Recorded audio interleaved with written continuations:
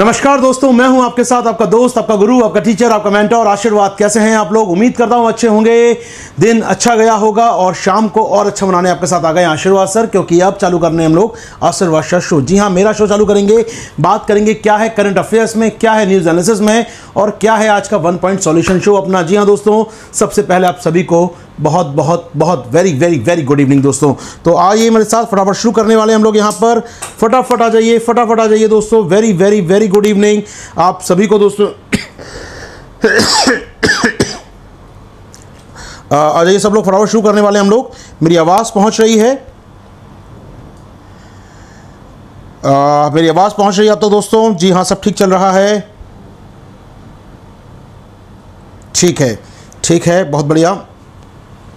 चलिए तो दोस्तों आज बता दूँ मैं आपको आज मेरी सुबह से बहुत कम क्लास हुई। मतलब कोई क्लास ही नहीं हुई आज सुबह से मेरी मतलब यहाँ तो अन अकेडमी पोर्टल पे तो कोई क्लास ही नहीं हुई सुबह से मेरी आज। मतलब सुबह नौ बजे सुबह ग्यारह बजे या बाकी शोज़ मेरे आज आ, नहीं हो पाए। कारण था नेटवर्क का इशू। जी हाँ सुबह से बहुत ज़्यादा नेटवर्क का समस्या बनी हुई थी। लगातार इंटरनेट नहीं आ रहा था। बार बार स्पीड अप डाउन हो रही थी। फाइनली तीन, चार बजे के आसपास ठीक हुआ नेट मेरा। उसके बाद हम लोगों ने कुछ पोर्टल पर क्लास ली, कुछ क्लास ली और फिर हमने प्लान किया शाम में क्लास की जाए। तो दोस्तों, आपका लॉस हो चुका है काफ़ी एडिटोरियल का आज का।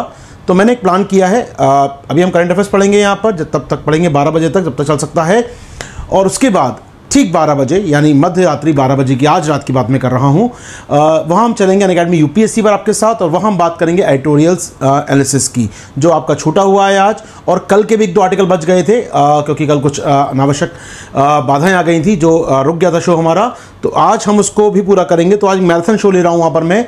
बारह बजे शुरू करेंगे। छह बड़े आर्टिकल हैं, बड़े इंपॉर्टेंट आर्टिकल हैं छह वहाँ पर आपके साथ। उन छह की छह बात करेंगे। प्रयास करूँगी रात को यहाँ शामिल कर लूँ मैं, जिससे वहाँ थोड़ा सा पाँच का काम बचे हमारे पास। तो प्रयास करेंगे दोस्तों, अगले तीन से चार घंटे आप संग रहने वाले हैं। हाँ लेकिन ज़रूरी है मेरी कैमरे की बैटरी चलती रहे।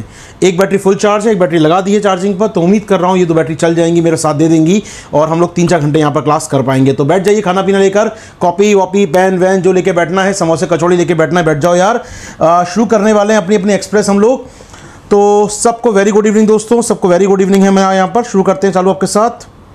क्या हुआ? सब कुछ ठीक है? मेरा चैट बॉक्स गायब हो गया ये। आ, मेरा चैट बॉक्स गायब हो गया यहाँ पर ये।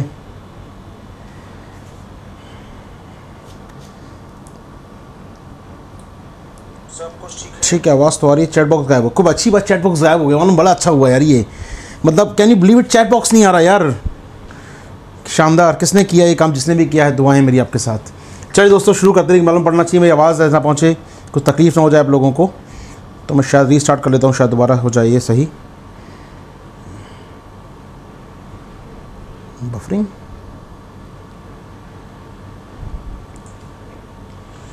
शानदार। किसने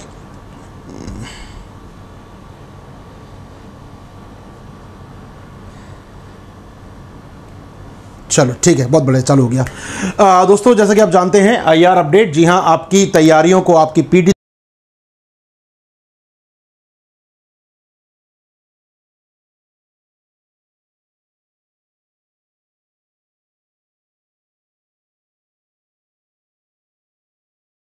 क्या क्या हैं? पूरा एक लगभग आठ से नौ सेशन तैयार किए हैं इसके लिए मैंने आपके लगभग हम समझ दस घंटे हम देंगे इसके मैं, दस घंटे के अंदर पूरा आईआर अपडेट जो भी घटनाएँ हुई हैं साल भर में, और उसका जोग्राफिकल मैप लोकेशन कहाँ पर क्या हुआ है, जिससे लगभग चार से पाँच सवाल एग्ज़ाम में आपके तैयार हो जाए हमारे। तो ये आपका सेशन चालू होने वाला है दोस्तों, कल शाम छः बजे से। अगर आप मिस नहीं करना चाहते हैं, आप इसको पढ़ना चाहते हैं तो आ सकते हैं मेरे संग अन अकेडमी सब्सक्रिप्शन पर। जी हाँ वहाँ पर आने के लिए प्रोसेस आप जानते ही हैं, नहीं जानते हैं तो पुरानी वीडियोज़ देख लीजिएगा। आइए वहाँ पर आशीर्वाद टेन रेफरल कोड यूज़ करके आप मुझे ज्वाइन कर सकते हैं। आप मेरे साथ पढ़ सकते हैं इस सेशन को दोस्तों, कल से शाम छह बजे लाइव। तो बिल्कुल मिस मत कीजिए सेशन को, आप लोग फटाफट आ जाइए वहाँ पर। The part of CCP program, comprehensive current affairs program चल रहा है आपको दोस्तों, उसमें शामिल होइए मेरे साथ वहाँ पर। चलिए, बहुत बढ़िया दोस्तों, शुरू करने वाले हम लोग यहाँ पर। क्या? अपना news analysis, Ashirwad sir show news analysis. चलिए दोस्तों, क्या है आज की हेडलाइंस?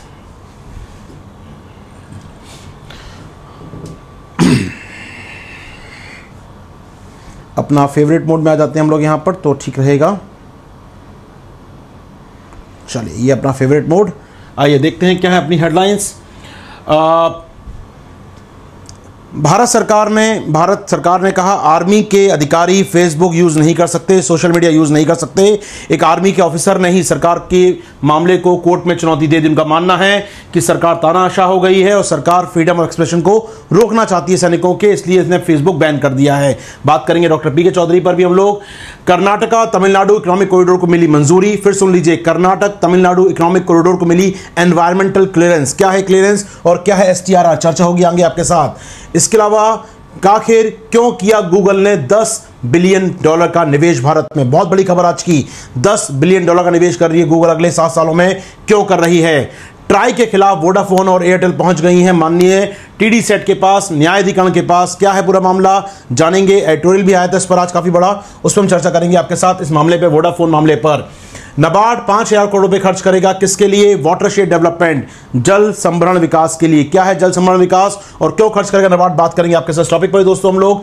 इसके अलावा कोविड 19 की जो दवा रशिया ने तैयार की है, उसका मानना है क्लिनिकल ट्रायल सफल रहे हैं। रशिया का मानना है कि उसकी दवा है, उसके क्लिनिकल ट्रायल सफल रहे हैं और अब उसे लोगों को दिया सकता है यहाँ पर। तो ऐसे में निश्चित तौर पर एक बड़ी सफलता है रशिया के लिए और पूरी दुनिया के लिए भी। बात करेंगे दवा के बारे में, सब मिलाता हूँ हमको यहाँ पर।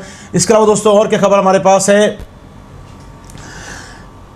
देश का कपड़ा उद्योग, टेक्सटाइल उद्योग, मांग कर रहा है भारत सरकार से, भैया, भारत सरकार सुन लो यार एफटीए कर लो ईयू के साथ एफटीए कर लो ब्रिटेन के साथ एफटीए कर लो अमेरिका के साथ ऑस्ट्रेलिया के साथ, वरना हम माल नहीं बेच पाएँगे। हमें बहुत डिसएडवांटेज हो गया है, हम अपना माल बेचने में सक्षम नहीं रह पाएँगे। ये कह रहा है कौन? देश का कपड़ा उद्योग किससे कह रहा है? भारत सरकार को। बात करेंगे इस पर, दोस्तों, बड़ी खबर है ये भी अपने पास में। इसके अलावा और क्या हमारे पास चर्चा करने के लिए बात हुई मोदी साहब की इंडिया ईयू समिट हुआ 15 जुलाई को वर्चुअल समिट हुआ, क्या निकल के आया, कुछ निकला भी क्या नहीं, बात इस पर भी होगी आपके साथ आज। इसके अलावा चर्चा रहेगी, भारत सरकार के स्वास्थ्य मंत्रालय ने ज़्यादा फंड की मांग की है देश के वित्त आयोग से फाइनेंस कमीशन से, कहा भैया, बड़ा पैकेज चाहिए हमको भारत सरकार से, तभी हम लोग इस पैंडेमिक को, इस महामारी को हम बढ़ने से रोक पाएँगे। जी हाँ बात करेंगे इस पर भी आपके साथ। पद्मनाभन मंदिर का ट्रस्टी जो अधिकार दे दिया गया, किसे रॉयल फैमिली जो थी केरल की उसे दे दिया गया अधिकार, बहुत बड़ी खबर नहीं है, लेकिन एक बड़ी चर्चा रही है सालों तक। 2010 से मामला चल रहा था ये, लगभग 10 साल लगे मामले को सुप्रीम कोर्ट हाई कोर्ट होते हुए, फाइनली अप्रूव होने में तो फाइनली पद्मनाभन टेंपल के जो भंडार हैं, जो सोने के भंडार हैं, वहाँ पर उसकी ज़िम्मेदारी दे दी गई त्रवण कोर के राज परिवार को। जी हाँ दोस्तों, इसके अलावा कोर कमांडर मुलाकात फिर शुरू हो गई है चाइना भारत सीमा एलएसी के लेकर। तो यहाँ पर डिसंगेज करने के लिए दोबारा बातचीत शुरू हो गई है। भारत और चीन के बीच में। अच्छी बात दोस्तों यहाँ पर। बात करेंगे गूगल के निवेश पर। बात करेंगे रिटेल इन्फ्लेशन पे। बढ़ रहा है रिटेल इन्फ्लेशन छः परसेंट। भारत का खुदरा महँगाई दर बढ़ गई है छः परसेंट दोस्तों। चर्चा पर भी होगी आपके साथ। इसके अलावा देश में बात करेंगे हम लोग यहाँ पर। चर्चा होगी गूगल की। चर्चा बड़ी चर्चा हमारी आज। बहुत कम खबर नहीं है। पोलैंड में जीत गए हैं डोडा साहब। डोडा साहब राष्ट्रपति फिर बन गए हैं। डोडा साहब की बात करें। राष्ट्रपति बन गए हैं फिर से ये। राष्ट्रपति थे ऑलरेडी ये राइट विंग के नेता हैं जो जाने जाते हैं ट्रंप से अपनी दोस्ती के लिए और ईयू से अलगाव के लिए। इनका मानना ईयू कुछ नहीं है। पोलैंड महान है, इनका मानना है कि पोलैंड बड़ा राष्ट्र है।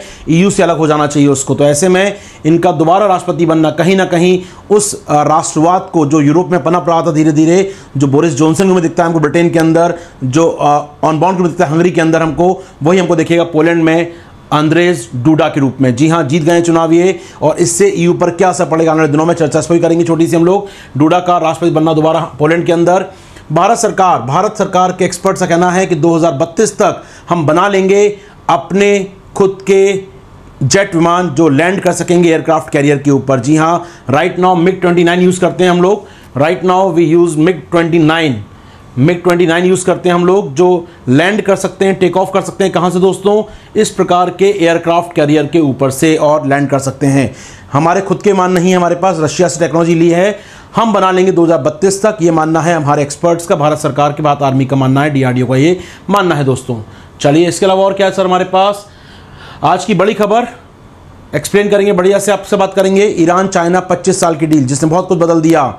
बहुत कुछ बदल दिया इसने दोस्तों, ईरान, चाइना की 25 साल की डील जिसने बदल दिया भारत के लिए, भारत का स्ट्रेटेजिक इंपॉर्टेंस जी हाँ दोस्तों तो फटाफट आ जाइए शेयर कीजिए यहाँ पर और हम लोग आगे बढ़ने वाले हैं अपनी मुख्य खबरों पर।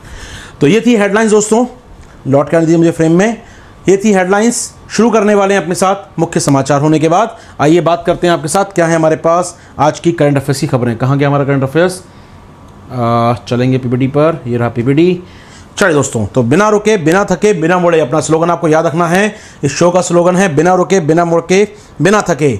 बिना थके इसलिए बोलता हूँ क्योंकि रात को ग्यारह, साढ़े ग्यारह बज जाते हैं।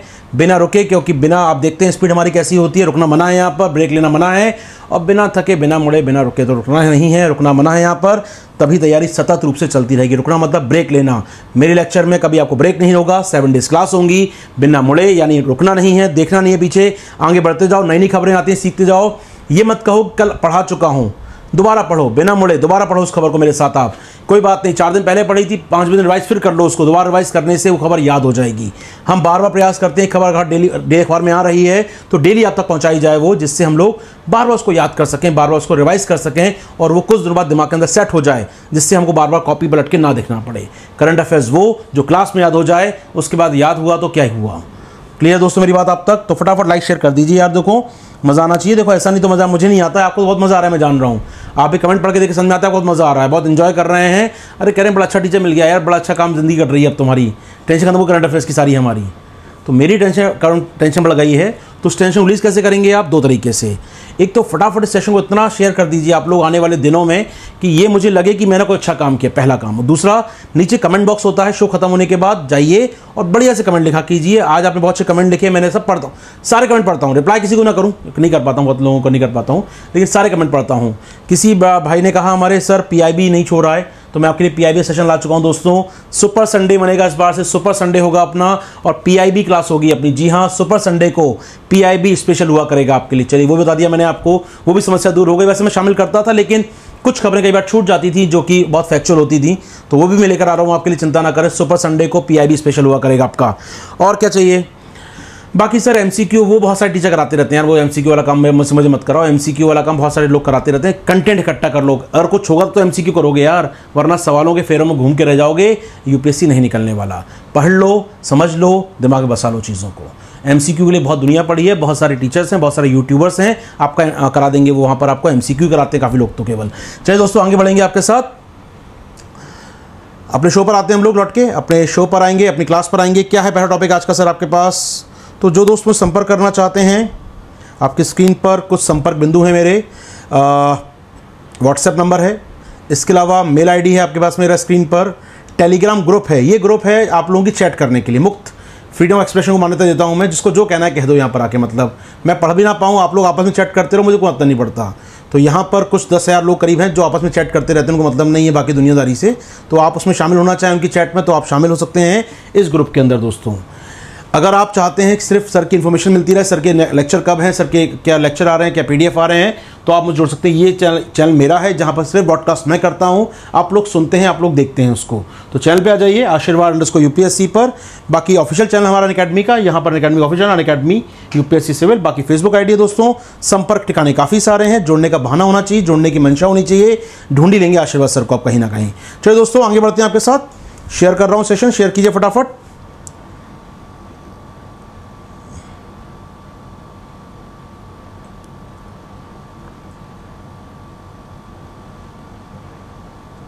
चलिए।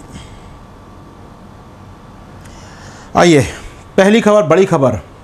गूगल निवेश करेगा भारत में सेवेंटी फाइव थाउज़ेंड करोड़ रुपये जी हाँ दोस्तों, आइए हमारे इस कलर जुड़ पे हम लोग। गूगल निवेश करेगा भारत में seventy five thousand crore rupees सामान्य भाषा में कहा जाए, टेन बिलियन डॉलर। एक डॉलर सेवेंटी फाइव रुपीज़ का माना गया है यहाँ पर। तो पचहत्तर हज़ार करोड़ रुपये खर्च करेगा, निवेश करेगा गूगल कितने समय में? अगले पाँच से सात सालों में। ये कहना है सुंदर पिचाई, जो सीईओ हैं चीफ एग्जीक्यूटिव ऑफिसर हैं, किसके? गूगल और अल्फ़ाबेट के। जी हाँ गूगल और अल्फ़ाबेट के सीईओ हैं। उनका कहना है वो निवेश करेंगे टेन बिलियन डॉलर लगभग अगले पाँच से सात सालों में। चलिए क्या क्या करने वाले हैं? बहुत बड़ी न्यूज़ है, बहुत इंपॉर्टेंट न्यूज़ है और ये एक प्रकार से भारत को एक स्टेप आगे ले सकती है डिजिटलाइजेशन में। जी हाँ कंट्रीज़ डिजिटल इकोसिस्टम को बहुत बेहतर कर सकती है, क्योंकि गूगल के बाद जो एक्सपर्टीज़ हैं, जो विशेषज्ञता है, उसकी दरकार बहुत बड़े स्केल में भारत को है। इसीलिए पीएम साहब ने खुद वर्चुअल कॉन्फ्रेंस की सुंदर पिचाई से, और वहाँ पर उन्होंने घोषणा भी की इस बात की सुंदर पिचाई ने। आइए बात करते हैं क्या क्या इसमें हो रहा है। ध्यान सुनिएगा, तीन चार पॉइंट हैं, सुन लीजिए इसमें है क्या क्या गूगल बनाएगा एक फंड जिसका नाम होगा Google for India digitalization fund underline कीजिएगा इसको। गूगल फॉर दिख रहा है दोस्तों, कोई समस्या तो नहीं आ रही है, नहीं आ रही है। Google for India digitalization fund बनेगा। जिसका उद्देश्य क्या होगा? ये क्या करेगा? ये फंड क्या करेगा? इस फंड से गूगल कई कंपनियों में निवेश करेगा इन्वेस्टमेंट करेगा इक्विटी इन्वेस्टमेंट यानी वो कंपनियों की भागीदारी खरीदेगा पार्टनरशिप करेगा कंपनियों के साथ मे बी पार्टनरशिप करेगा ऑपरेशंस कई लॉन्च करेगा ऐप लॉन्च करेगा यहाँ पर कई प्रकार से। गूगल पे लॉन्च किया उसने गूगल स्टेशन लॉन्च किया उसने। तो कई प्रकार की एप्लीकेशन लॉन्च करेगा खुद से वो। इसके अलावा इकोसिस्टम इन्वेस्टमेंट क्या करेगा यहाँ पर? इंफ्रास्ट्रक्चर ऑप्टिकल फाइबर बिछाना हो मे बी या सेटेलाइट कुछ यहाँ पर काम करना हो गूगल इंफ्रास्ट्रक्चर पर भी काम करेगा। गूगल एप्लीकेशन भी जारी करेगा। और गूगल का सबसे बड़ा काम, जो बहुत बड़ा काम है, वो है स्टार्टअप को सपोर्ट करेगा। गूगल का दुनिया में वन ऑफ़ द बेस्ट काम है स्टार्टअप को सपोर्ट करना, क्योंकि वो खुद एक स्टार्टअप था। 25 मिलियन डॉलर से स्टार्ट हुई कंपनी सोचिएगा। एक ऐसा स्टार्टअप जो 25 मिलियन डॉलर से, साल 2000 की बात कर रहा हूँ स्टार्ट हुआ था 25 मिलियन डॉलर से। आज दुनिया की one of the largest company है टेक कंपनी है गूगल आज की डेट में। सोचिएगा 25 मिलियन डॉलर क्या राशि होती है 25 मिलियन डॉलर यार? आज वो देश में लगा रहा है 10 मिलियन डॉलर हमारे लगा रहा है। अरबों की कंपनी है, अरबों डॉलर की कंपनी है वो। तो ये वो जानता है कि स्टार्टअप में बहुत पोटेंशियल होता है। अगर एक स्टार्टअप हिट हो गया बीस में से आपका तो रिकवरी हो जाएगी सारे बीस की आपको। तो यहाँ पर स्टार्टअप पैसा लगाएगा और इको को इन्वेस्टमेंट ऑफ़ इको सिस्टम इसी को शब्द बोल रहा हूँ मैं। ये शब्द है स्टार्टअप आपके लिए। तो स्टार्टअप में निवेश को बढ़ावा देगा। तो ये क्या करने वाला है? पार्टनरशिप करने वाला है देश की कंपनियों के साथ इंफ्रास्ट्रक्चर लगाने वाला है देश के अंदर, देश के अंदर ऐप सर्विसेज़ देने वाला है आपको, और करने वाला है स्टार्टअप कंपनियों में निवेश। जी हाँ स्टार्टअप कंपनियों के निवेश को बढ़ाने वाला है, जिससे क्या फ़ायदा होगा? फोकस एरिया क्या होगा इसका? आइए दोस्तों फोकस एरिया क्या होगा? फोकस एरिया पहला point affordable access to internet जी हाँ लोगों तक सस्ते इंटरनेट की पहुँच कराएँगे। नोट डाउन करते जाएँगे, पहला पॉइंट मैं आपको दिखा दूँगा अपना स्क्रीनशॉट लेकर सुन लीजिए पहले। एफोर्डेबल एक्सेस टू इंटरनेट यानी लोगों तक आसानी से सस्ता इंटरनेट पहुँच सके। पहला काम, जियो को टक्कर। Information for every Indian her own language जी हाँ भारतीय भाषाओं में सॉफ्टवेयर का विकास, यानी सर्विसेज़ लॉन्च की जाएँगी भारतीय भाषाओं में। जो एकाधिकार है, कुछ भाषाओं का, वो तोड़ेगा गूगल और नेटिव भाषाओं में लोकल भाषाओं में एप्स लॉन्च करेगा। Building new products and service that are relevant to the India's unique needs भारतीयों के लिए आवश्यक सेवाएँ, जो केवल भारतीयों की आवश्यकताएँ हैं। जैसे, क्या हो सकता है? आपकी पेमेंट बहुत गरीब वर्ग है, फार्मर बहुत ज़्यादा है हमारे यहाँ पर, एमएसएमई ज़्यादा है हमारे यहाँ पर तो उनके लिए सेवाएँ, उनके लिए ऐप लॉन्च करेंगे पर्टिकुलर नीड्स के लिए एप्लीकेशन लॉन्च करेगा, आपकी भाषा में करेगा, और क्या करेगा? इंक्लूडिंग कंज्यूमर टेक्नोलॉजी ऑफकोर्स ग्राहकों के लिए टेक्नोलॉजी बहुत सारी है गूगल पे एग्ज़ाम्पल एजुकेशन में हेल्थ में एग्रीकल्चर में, ये आपको तकनीकें देगा, सेवाएँ देगा एप्स देगा, जिससे आप यूज़ कर सकें। And also for empowering business particularly small and small medium medium यानी छोटे और मध्यम उद्योगों को बढ़ावा देगा। यानी बहुत कुछ काम करने वाला गूगल का प्लान बहुत बड़ा है अपने आप में ये। चलिए, थोड़ा आगे बढ़ता हूँ फिर मैं आपके साथ। तो ये काम करेगा गूगल यहाँ पर। अब एक बार सुन लीजिए यहाँ पर, मैं कुछ और पॉइंट सुना दूँगा तीन चार पॉइंट सुन लीजिए। इसके अलावा गूगल ने और घोषणाएँ भी की हैं।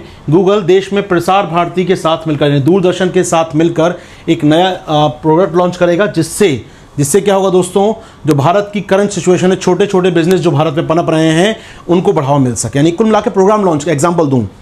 प्रसार भारती, यानी दूरदर्शन में विज्ञापन आएगा एक कि भैया आप इस ऐप को जाके एक्सेस करें और इससे आप स्मॉल बिज़नेस कैसे बढ़ा सकते हैं, कैसे अपनी इस वर्तमान परिस्थितियों में, कोविड नाइन्टीन की इन करंट सिचुएशन में कैसे अपने बिज़नेस को एक्सपेंड कर सकते हैं, कैसे अपने बिज़नेस को डिसलाइज कर सकते हैं, ये जानकारी कहाँ मिलेगी?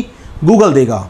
आप तक जानकारी कैसे पहुंचेगी? दूरदर्शन प्रसार भारती के माध्यम से। यानी प्रसार भारती विज्ञापन भी आएगा और गूगल का कार्यक्रम भी आएगा। आधे घंटे का शो गूगल का आएगा, गूगल बताएगा उसके अंदर आपको कि जनाब आप छोटे बिजनेसमैन हैं आपको अपना काम ऑनलाइन करना है। आप कोविड नाइन्टीन में मुश्किल अवस्था में चल रहे हैं। ऑनलाइन कैसे किया जाए उसका व्यवसाय? कैसे आप ऑनलाइन का फ़ायदा लें? ये बताया गूगल आपको उस आधे पौन घंटे के प्रोग्राम में। कहाँ पर आएगा? दूरदर्शन पर, प्रसार भारती पर, यानी ये टाइप हुआ है प्रसार भारती और गूगल के बीच। बात समझ आ गई? आम आदमी तक पहुँच। एमएसएमई को बढ़ावा। उनको इस वर्तमान परिस्थितियों से निपटने के लिए एक रणनीतिक सहयोग। यह है हमारे गूगल का प्लान आगे बढ़ते हैं दोस्तों। और क्या करेगा गूगल गूगल जोड़ रहा है सीबीएसई के साथ। जी हाँ सीबीएसई के साथ जोड़ेगा और एक मिलियन टीचर्स एक मिलियन कितने होता है? दस लाख। दस लाख टीचर्स जो बाईस हज़ार स्कूलों में है भारत के, उनको क्या करेगा दोस्तों? वो उनको ट्रेनिंग देगा, वो उनको बेहतर लर्निंग एबिलिटी देगा। भैया, बच्चों को अच्छा सिखाओ। आप टैक्स सेवी हो जाओ, बच्चों को जैसे आशीर्वाद से थोड़ा टैक्स सेवी हो गए हैं, थोड़ा कंप्यूटर आ गया मुझे तो बच्चों तक तो पहुँच गया मैं। पहुँच गया बच्चों तक। तो ऐसे वो टीचर टैक्स सेवी हो जाएँ, उनको गूगल ट्रेनिंग देगा, जिससे वो बाईस हज़ार स्कूलों के बच्चे और टीचर और जगह तक पहुँच पाएँ और बच्चों तक पहुँच पाएँ। जी हाँ ऑनलाइन लर्निंग को बढ़ावा देगा, जिससे वो यूट्यूब यूज़ कर पाएँ गूगल क्लासरूम यूज़ कर पाएँ जी यूज़ कर पाएँ, ये सब क्या है? ये गूगल के फीचर्स हैं, जिससे आप अच्छी एजुकेशन दे सकते हैं।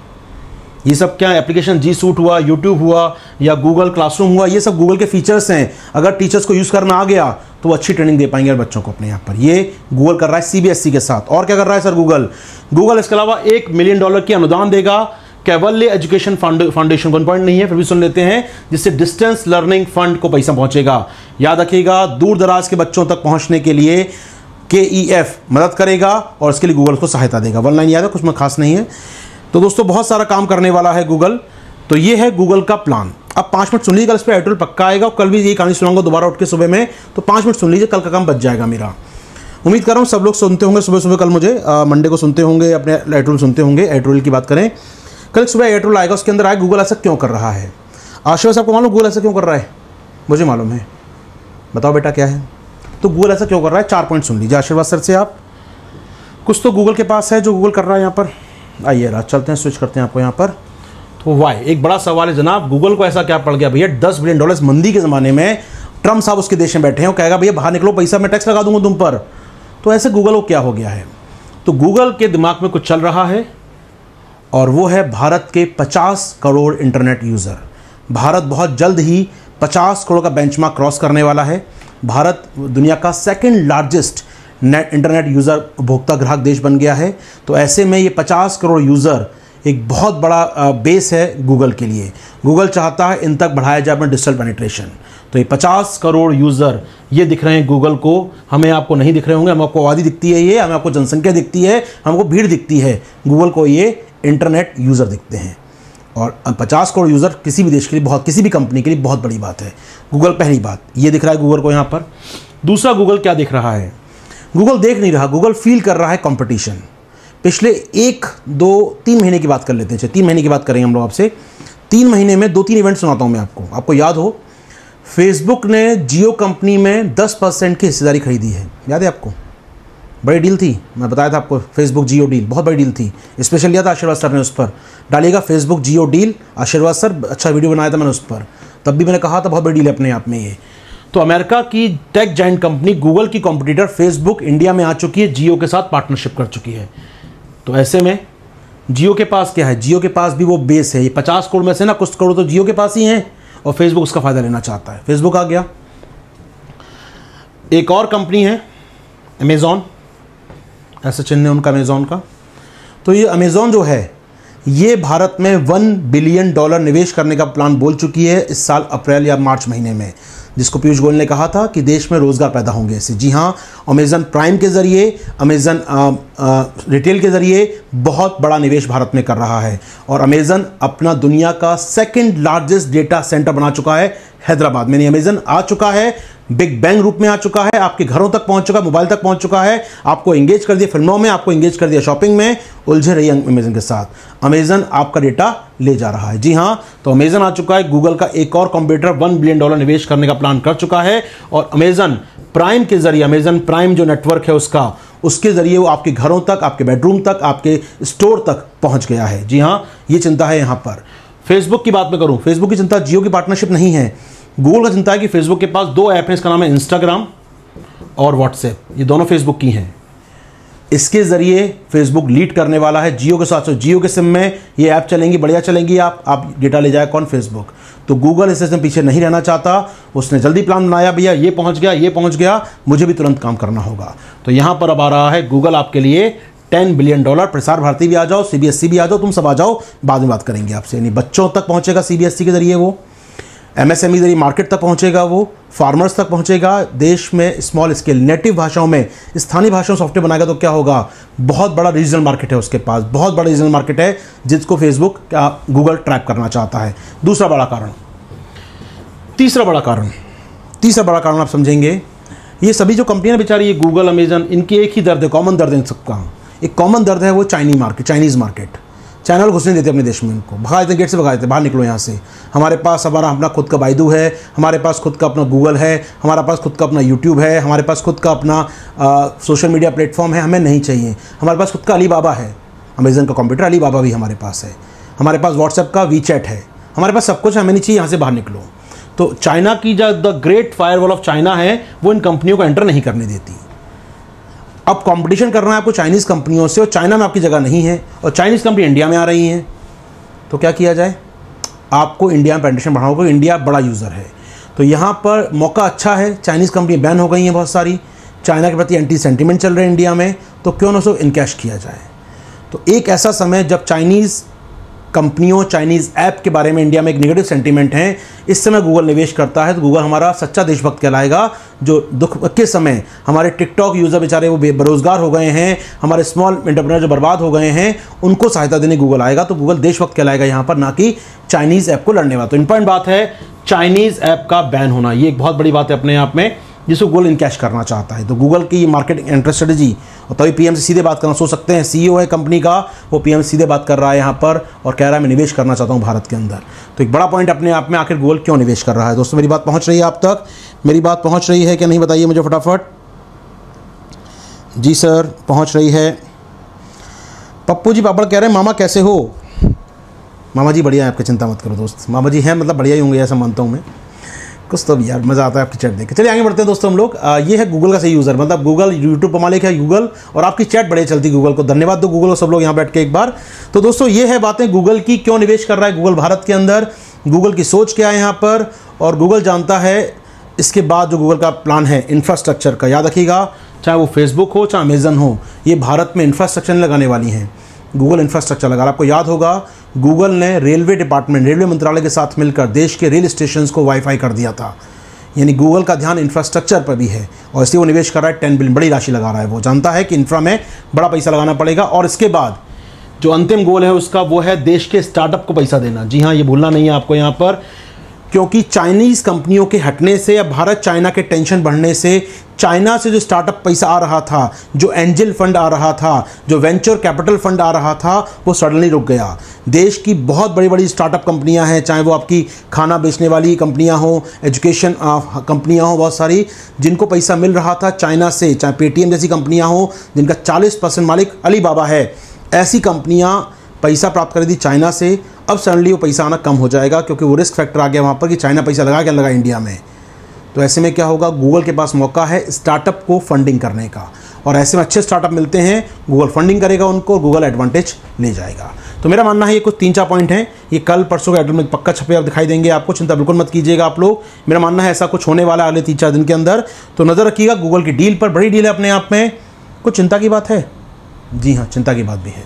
चिंता की बात दोस्तों यहाँ पर यह है कि गूगल तो आ रहा है। गूगल का रिकॉर्ड देखोगे दोस्तों? सुंदर पिचाई सीईओ हैं, भारतीय मूल के हैं, क्रिकेट अच्छा खेलते हैं, सचिन को जानते हैं अच्छा लगता है सुनने में। लेकिन गूगल का रिकॉर्ड अभी यू ईयू ने जुर्माना लगाया गूगल के मालूम में आपको। उनका मानना है गूगल डेटा प्राइवेसी का वॉलेशन कर रहा है। डेटा चुरा रहा है। अपने एकाधिकार का दुरुपयोग कर रहा है। गूगल पर बहुत हैवी फाइन लगाया ईयू ने। गूगल ने कहा, लो फाइन ले जाओ फाइन आराम से जियो अपनी ज़िंदगी। गूगल ने क्या कहा मालूम है? फ़ाइन देकर भी गूगल फ़ायदे में है। कि उसने चुराया है ना, वो इतना बड़ा डेटा चुराया है उसने कि फ़ाइन देकर भी उसको फ़ायदा मिल गया। दैट्स इट इंपॉर्टेंट बात है। तो गूगल का रिकॉर्ड अच्छा नहीं है। कई देशों में केस चल रहे हैं उसके ऊपर। यूरोप में कई प्रकार के एक्स्ट्रा टैक्स लगाए गए हैं गूगल कंपनीज़ के ऊपर। तो ऐसे में गूगल के प्रति ज़्यादा हम लोग दिल खोल के बात करें, जबकि वो समय, जबकि देश में डेटा प्रोटेक्शन लॉ तक नहीं है हमारे पास। तो वीन डेटा प्रोटेक्शन लॉ चाहिए हमको। गूगल की एक्टिविटीज़ को रेगुलेट करने के लिए हमको रेगुलेटर चाहिए हमारे यहाँ पर। अभी कुछ दिनों पहले ही आपको याद है देश में डेटा के लिए एक रेगुलेटर बनाने की बात कही थी। उसके लिए पैनल बन गया। दो दिन पहले कंडक्ट पढ़ा था आप लोगों ने मेरे साथ, आपको याद होगा। डेटा रेगुलेशन के लिए एक पैनल होगा देश के अंदर। रेगुलेटर होगा। सिफारिश कर रहा है हमारा पैनल ये। ऐसे में ज़रूरी है कि गूगल के डील को उस देखा जाए, उस नज़र से भी। कि ऐसा ना हो जाए कि गूगल डेटा प्राइवेसी का वॉलेशन करे, गूगल हमारे यहाँ धोखा करे, ये हमें नज़र रखनी होगी। गूगल एक कंपनी है जो प्रॉफिट के लिए काम करती है, वो इंडिया के लिए काम नहीं करती, कोई राष्ट्रवादी नहीं है वो। वो अपने प्रॉफिट के लिए काम करती है। याद रखेंगे उम्मीद कर रहा हूँ सारी बातें अब तक पहुँच गई होंगी। ठीक है? चलिए तो ये है गूगल का इतिश्री करते हैं गूगल की हम लोग। आगे बढ़ते हैं आपके साथ। बाकी याद रखिएगा, काम की कंपनी है। याद रखिए गूगल बता दूँ, थोड़ा सा गूगल के बारे में आपको एक लाइन बढ़ा दूँ जानकारी आपकी। एक कंपनी अल्फ़ाबेट ठीक है?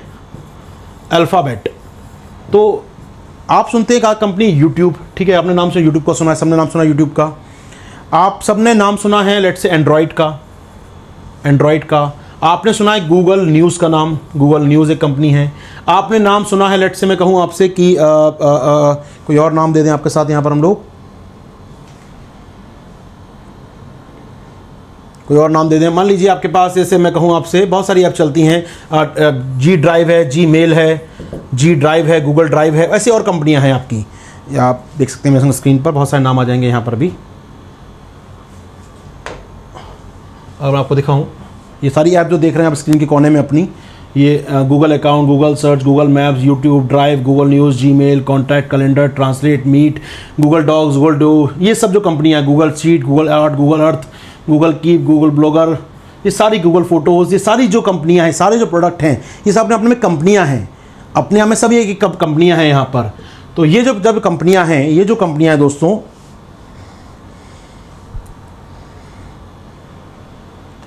ये जो कंपनियाँ हैं, इन सब की गूगल क्रोम भी एक कंपनी गूगल भी कंपनी है। इन सब की पेरेंटल कंपनी का नाम है अल्फ़ाबेट यानी अल्फ़ाबेट सबके मालिक है तो इन सबका मालिक एक वो है अल्फ़ाबेट उसके सीईओ भी सुंदर पे चाहिए। गूगल का एक कंपनी के पार्टनर कंपनी के सीईओ हैं वो अपनी, और पेरेंटल कंपनी के सीईओ भी हैं। यानी सबसे ऊपर अल्फ़ाबेट उसके सीईओ भी हैं वो, और वो सीईओ किसके हैं दोस्तों? वो गूगल के भी सीईओ हैं। तो अल्फ़ाबेट के सीईओ होने के नाते उन्होंने घोषणा की गूगल निवेश करेगा टेन बिलियन डॉलर भारत के अंदर यहाँ पर। उम्मीद करो मेरी बातें स्पष्ट हो गई होंगी आपको। अब चलेंगे आपके साथ आएँगे अगली खबर पे आएँगे हम लोग। बताइए थंबनेल मार्क दबाकर सर समझ आया कि नहीं आई बात आपकी समझ आई कि नहीं, बताइए दोस्तों मुझे। आपको समझ आई कि नहीं कहानी मेरी यहाँ पर। वार गूगल तू तो हिला दिया। सही दोस्तों, सही। तो एक काम करिए, फटाफट जरा लाइक का बटन दबाइए, पानी पी लो मेरा। एक बड़ी खबर टाइम लगा दी आप लोगों ने, कोई बात नहीं, लेकिन मैं जानता हूँ इस पर एयरटेल का आएगा तो आर्टिकल निकालना पड़ेगा मुझे। एयरटेल का आएगा पक्की बात इस पर। एक आधे में ज़रूर आएगा इस पर एडिटोरियल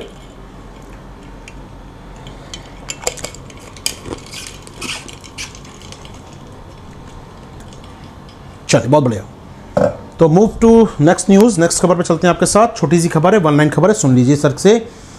रिटेल इन्फ्लेशन यानी कि खुदरा मुद्रास्फीति हो गई है जून महीने के लिए 6.09 परसेंट खुदरा मुद्रास्फीति सीपीआई बोली भाषा में कंज्यूमर प्राइस इंडेक्स कितना हो गया है? जून 2020 के लिए हो गया है वो 6 परसेंट। याद नहीं करना 6 परसेंट हर महीने बदलता रहता है। तो क्या याद करना है सर इसके अंदर? कौन जारी करता है? इसका डोमेन क्या है? इसका वेटेज क्या है? कौन कौन से आइटम आते हैं इसके अंदर? ये सब याद याद करना है। तो दो ऑप्शन आपके पास हैं। अगले दो मिनट में समरी कर रहा हूँ, वो सुन लीजिए। डिटेल में पढ़ना हो तो टाइप कीजिएगा सीपीआई इंडेक्स स्पेस आशीर्वाद सर, एंटर मारिएगा, पहुँच जाएँगे एच प्रोग्राम की वीडियो पर। इकोनॉमी का वीडियो है, पढ़ लीजिएगा, देख लीजिएगा दिल भर जाएगा आपका इतना पढ़ाया उसके अंदर। ठीक है तो यहाँ पर फटाफट रिवाइज कर दूँगा आपके साथ, क्या है पूरा मामला दोस्तों ये, क्या होता है आपका ये प्रोडक्ट सुन लीजिए, फटाफट देखेंगे आपके साथ। सीपीआई सीपीआई इंडेक्स यानी देश में खुदरा महँगाई, जांचने का इंडेक्स है। अभी बात करूँ कि शॉर्ट में आपसे समरी कर रहा हूँ। CPI rural CPI urban CPI ग्रामीण सीपीआई शहरी समग्र रूप से सीपीआई समग्र या कंप्रेहेंसिव सीपीआई कंपोजिट बोलते हैं कई बार सीपीआई कंपोजिट या समग्र बोल लेता हूँ अपनी भाषा में समझने के लिए कंपोजिट या रूलर प्लस अर्बन मिलाकर। तो गाँव के लिए अलग इंडेक्स होता है, शहर के अलग इंडेक्स होता है, दोनों को मिला दिया जाए तो सीपीआई कंप्रेहेंसिव हो जाता है। चलिए कौन जारी करता है सर? ये जो इंडेक्स जारी करता है एमओएसपीआई मंत्रालय हमारा फ़ेमस मंत्रालय सांख्यिकी और कार्यक्रम क्रियान्वयन ministry of statistics and programme implementation जी हाँ मंत्रालय इसके तहत जारी होता है ये आपका सीपीआई इंडेक्स ठीक बात है सर। सर बेस ईयर क्या चल रहा है इसका? राइट नाउ जो बेस ईयर प्लान है अभी इसका 2012 का बेस ईयर यानी आधार वर्ष 2012 का सर इसका। ओके okay, सर इसमें क्या क्या मेजर करते हैं क्या क्या वेटेज होता है किन किन चीज़ों को महँगाई नापते हैं वो चलेंगे आपको स्लाइड पर लेकर स्लाइड मदद करेगी समझने में उसको आपको। तो दोस्तों स्लाइड पे आ गया हूँ मैं आपके साथ। तो ये है वेटेज इसका। इसको अंडरलाइन कर लीजिए, इसको नोट डाउन कर लीजिए, इसका स्क्रीनशॉट ले लीजिए आराम से आप लोग। इसको देख लीजिएगा। तो लगभग 46 परसेंट मैं बात करूँ, एक आम भारतीय, चाहे वो गाँव का हो, शहर का हो, दोनों को मिला दीजिए। एक आम भारतीय अपनी आमदनी का, अपनी इनकम का छियालीस परसेंट खर्च करता मालूम है किस पर? या अपने जो कुल खर्च करता है जितना वो कुल खर्च करता है, उसका 46 परसेंट करता है अपने खाने के ऊपर। यानी वो जो कमा रहा है, वो छोड़ दीजिए। वो जो खर्च कर रहा है दिन भर में वो बीस रुपये करता है या पचास रुपये करता है, सौ रुपये खर्च करता है, मान लीजिए तो उसका पचास रुपये आधा पैसा खर्च करता है वो, पैंतालीस रुपये का खर्च करता है वो खाने के ऊपर, खाने और अन्य चीज़ों पर। इसका वो दस रुपये खर्च करता है, मालूम है कहाँ पर वो? हाउसिंग के ऊपर। अपने घर के किराए पर रेंटिंग पर कहाँ खर्च करता है? लगभग सात रुपये खर्च करता है ईंधन पर, बिजली के बिल पर आदि पर। छः साढ़े छः रुपये खर्च करता है लगभग वो कपड़ों पर, जूते आदि पर। दो रुपये खर्च करता है पान, तंबाकू और जहरीले पदार्थों पर। ठीक है ये भी बड़ा खर्च है इंडिया में समझ सकते हैं। मतलब एक, एक इंसान पान तंबाकू और इनटॉक्सिक एलिमेंट जिसमें शराब भी शामिल होगी ऑफकोर्स उसमें खर्च करता है अपने अपने कुल खर्च का दो रुपया और बाकी अट्ठाईस रुपये स्कूल शिक्षा हेल्थ आदि चीज़ में आ जाती हैं आपकी। ठीक है दोस्तों तो बेस ईयर कितना? है 2012 है इसका बेस ईयर याद रखिए काम की चीज़ है इसको रॉय कहाँ से आ गया? इसको नीचे करना ज़रूरी है ये जाएगा नीचे ठीक है। 2012 का बेस ईयर है सीपीआई जारी करता है एमओएसपीआई याद रख पाएँगे दोस्तों? अब बता दीजिए, आज की महँगाई कितनी है दोस्तों? इस बार की महँगाई है जून 2020 के लिए 6.09 परसेंट ठीक है यहाँ पर। महँगाई बढ़ी किसमें है? दालें, अरे यार, दालें महँगी हो गई। लो यार। 16 परसेंट महँगाई दालों बढ़ गई, हद हो गई यार। पान तंबाकू महँगा हो गया मतलब ये भी है, महँगा होना देखिए। नौ परसेंट महँगा हो गया पान तंबाकू।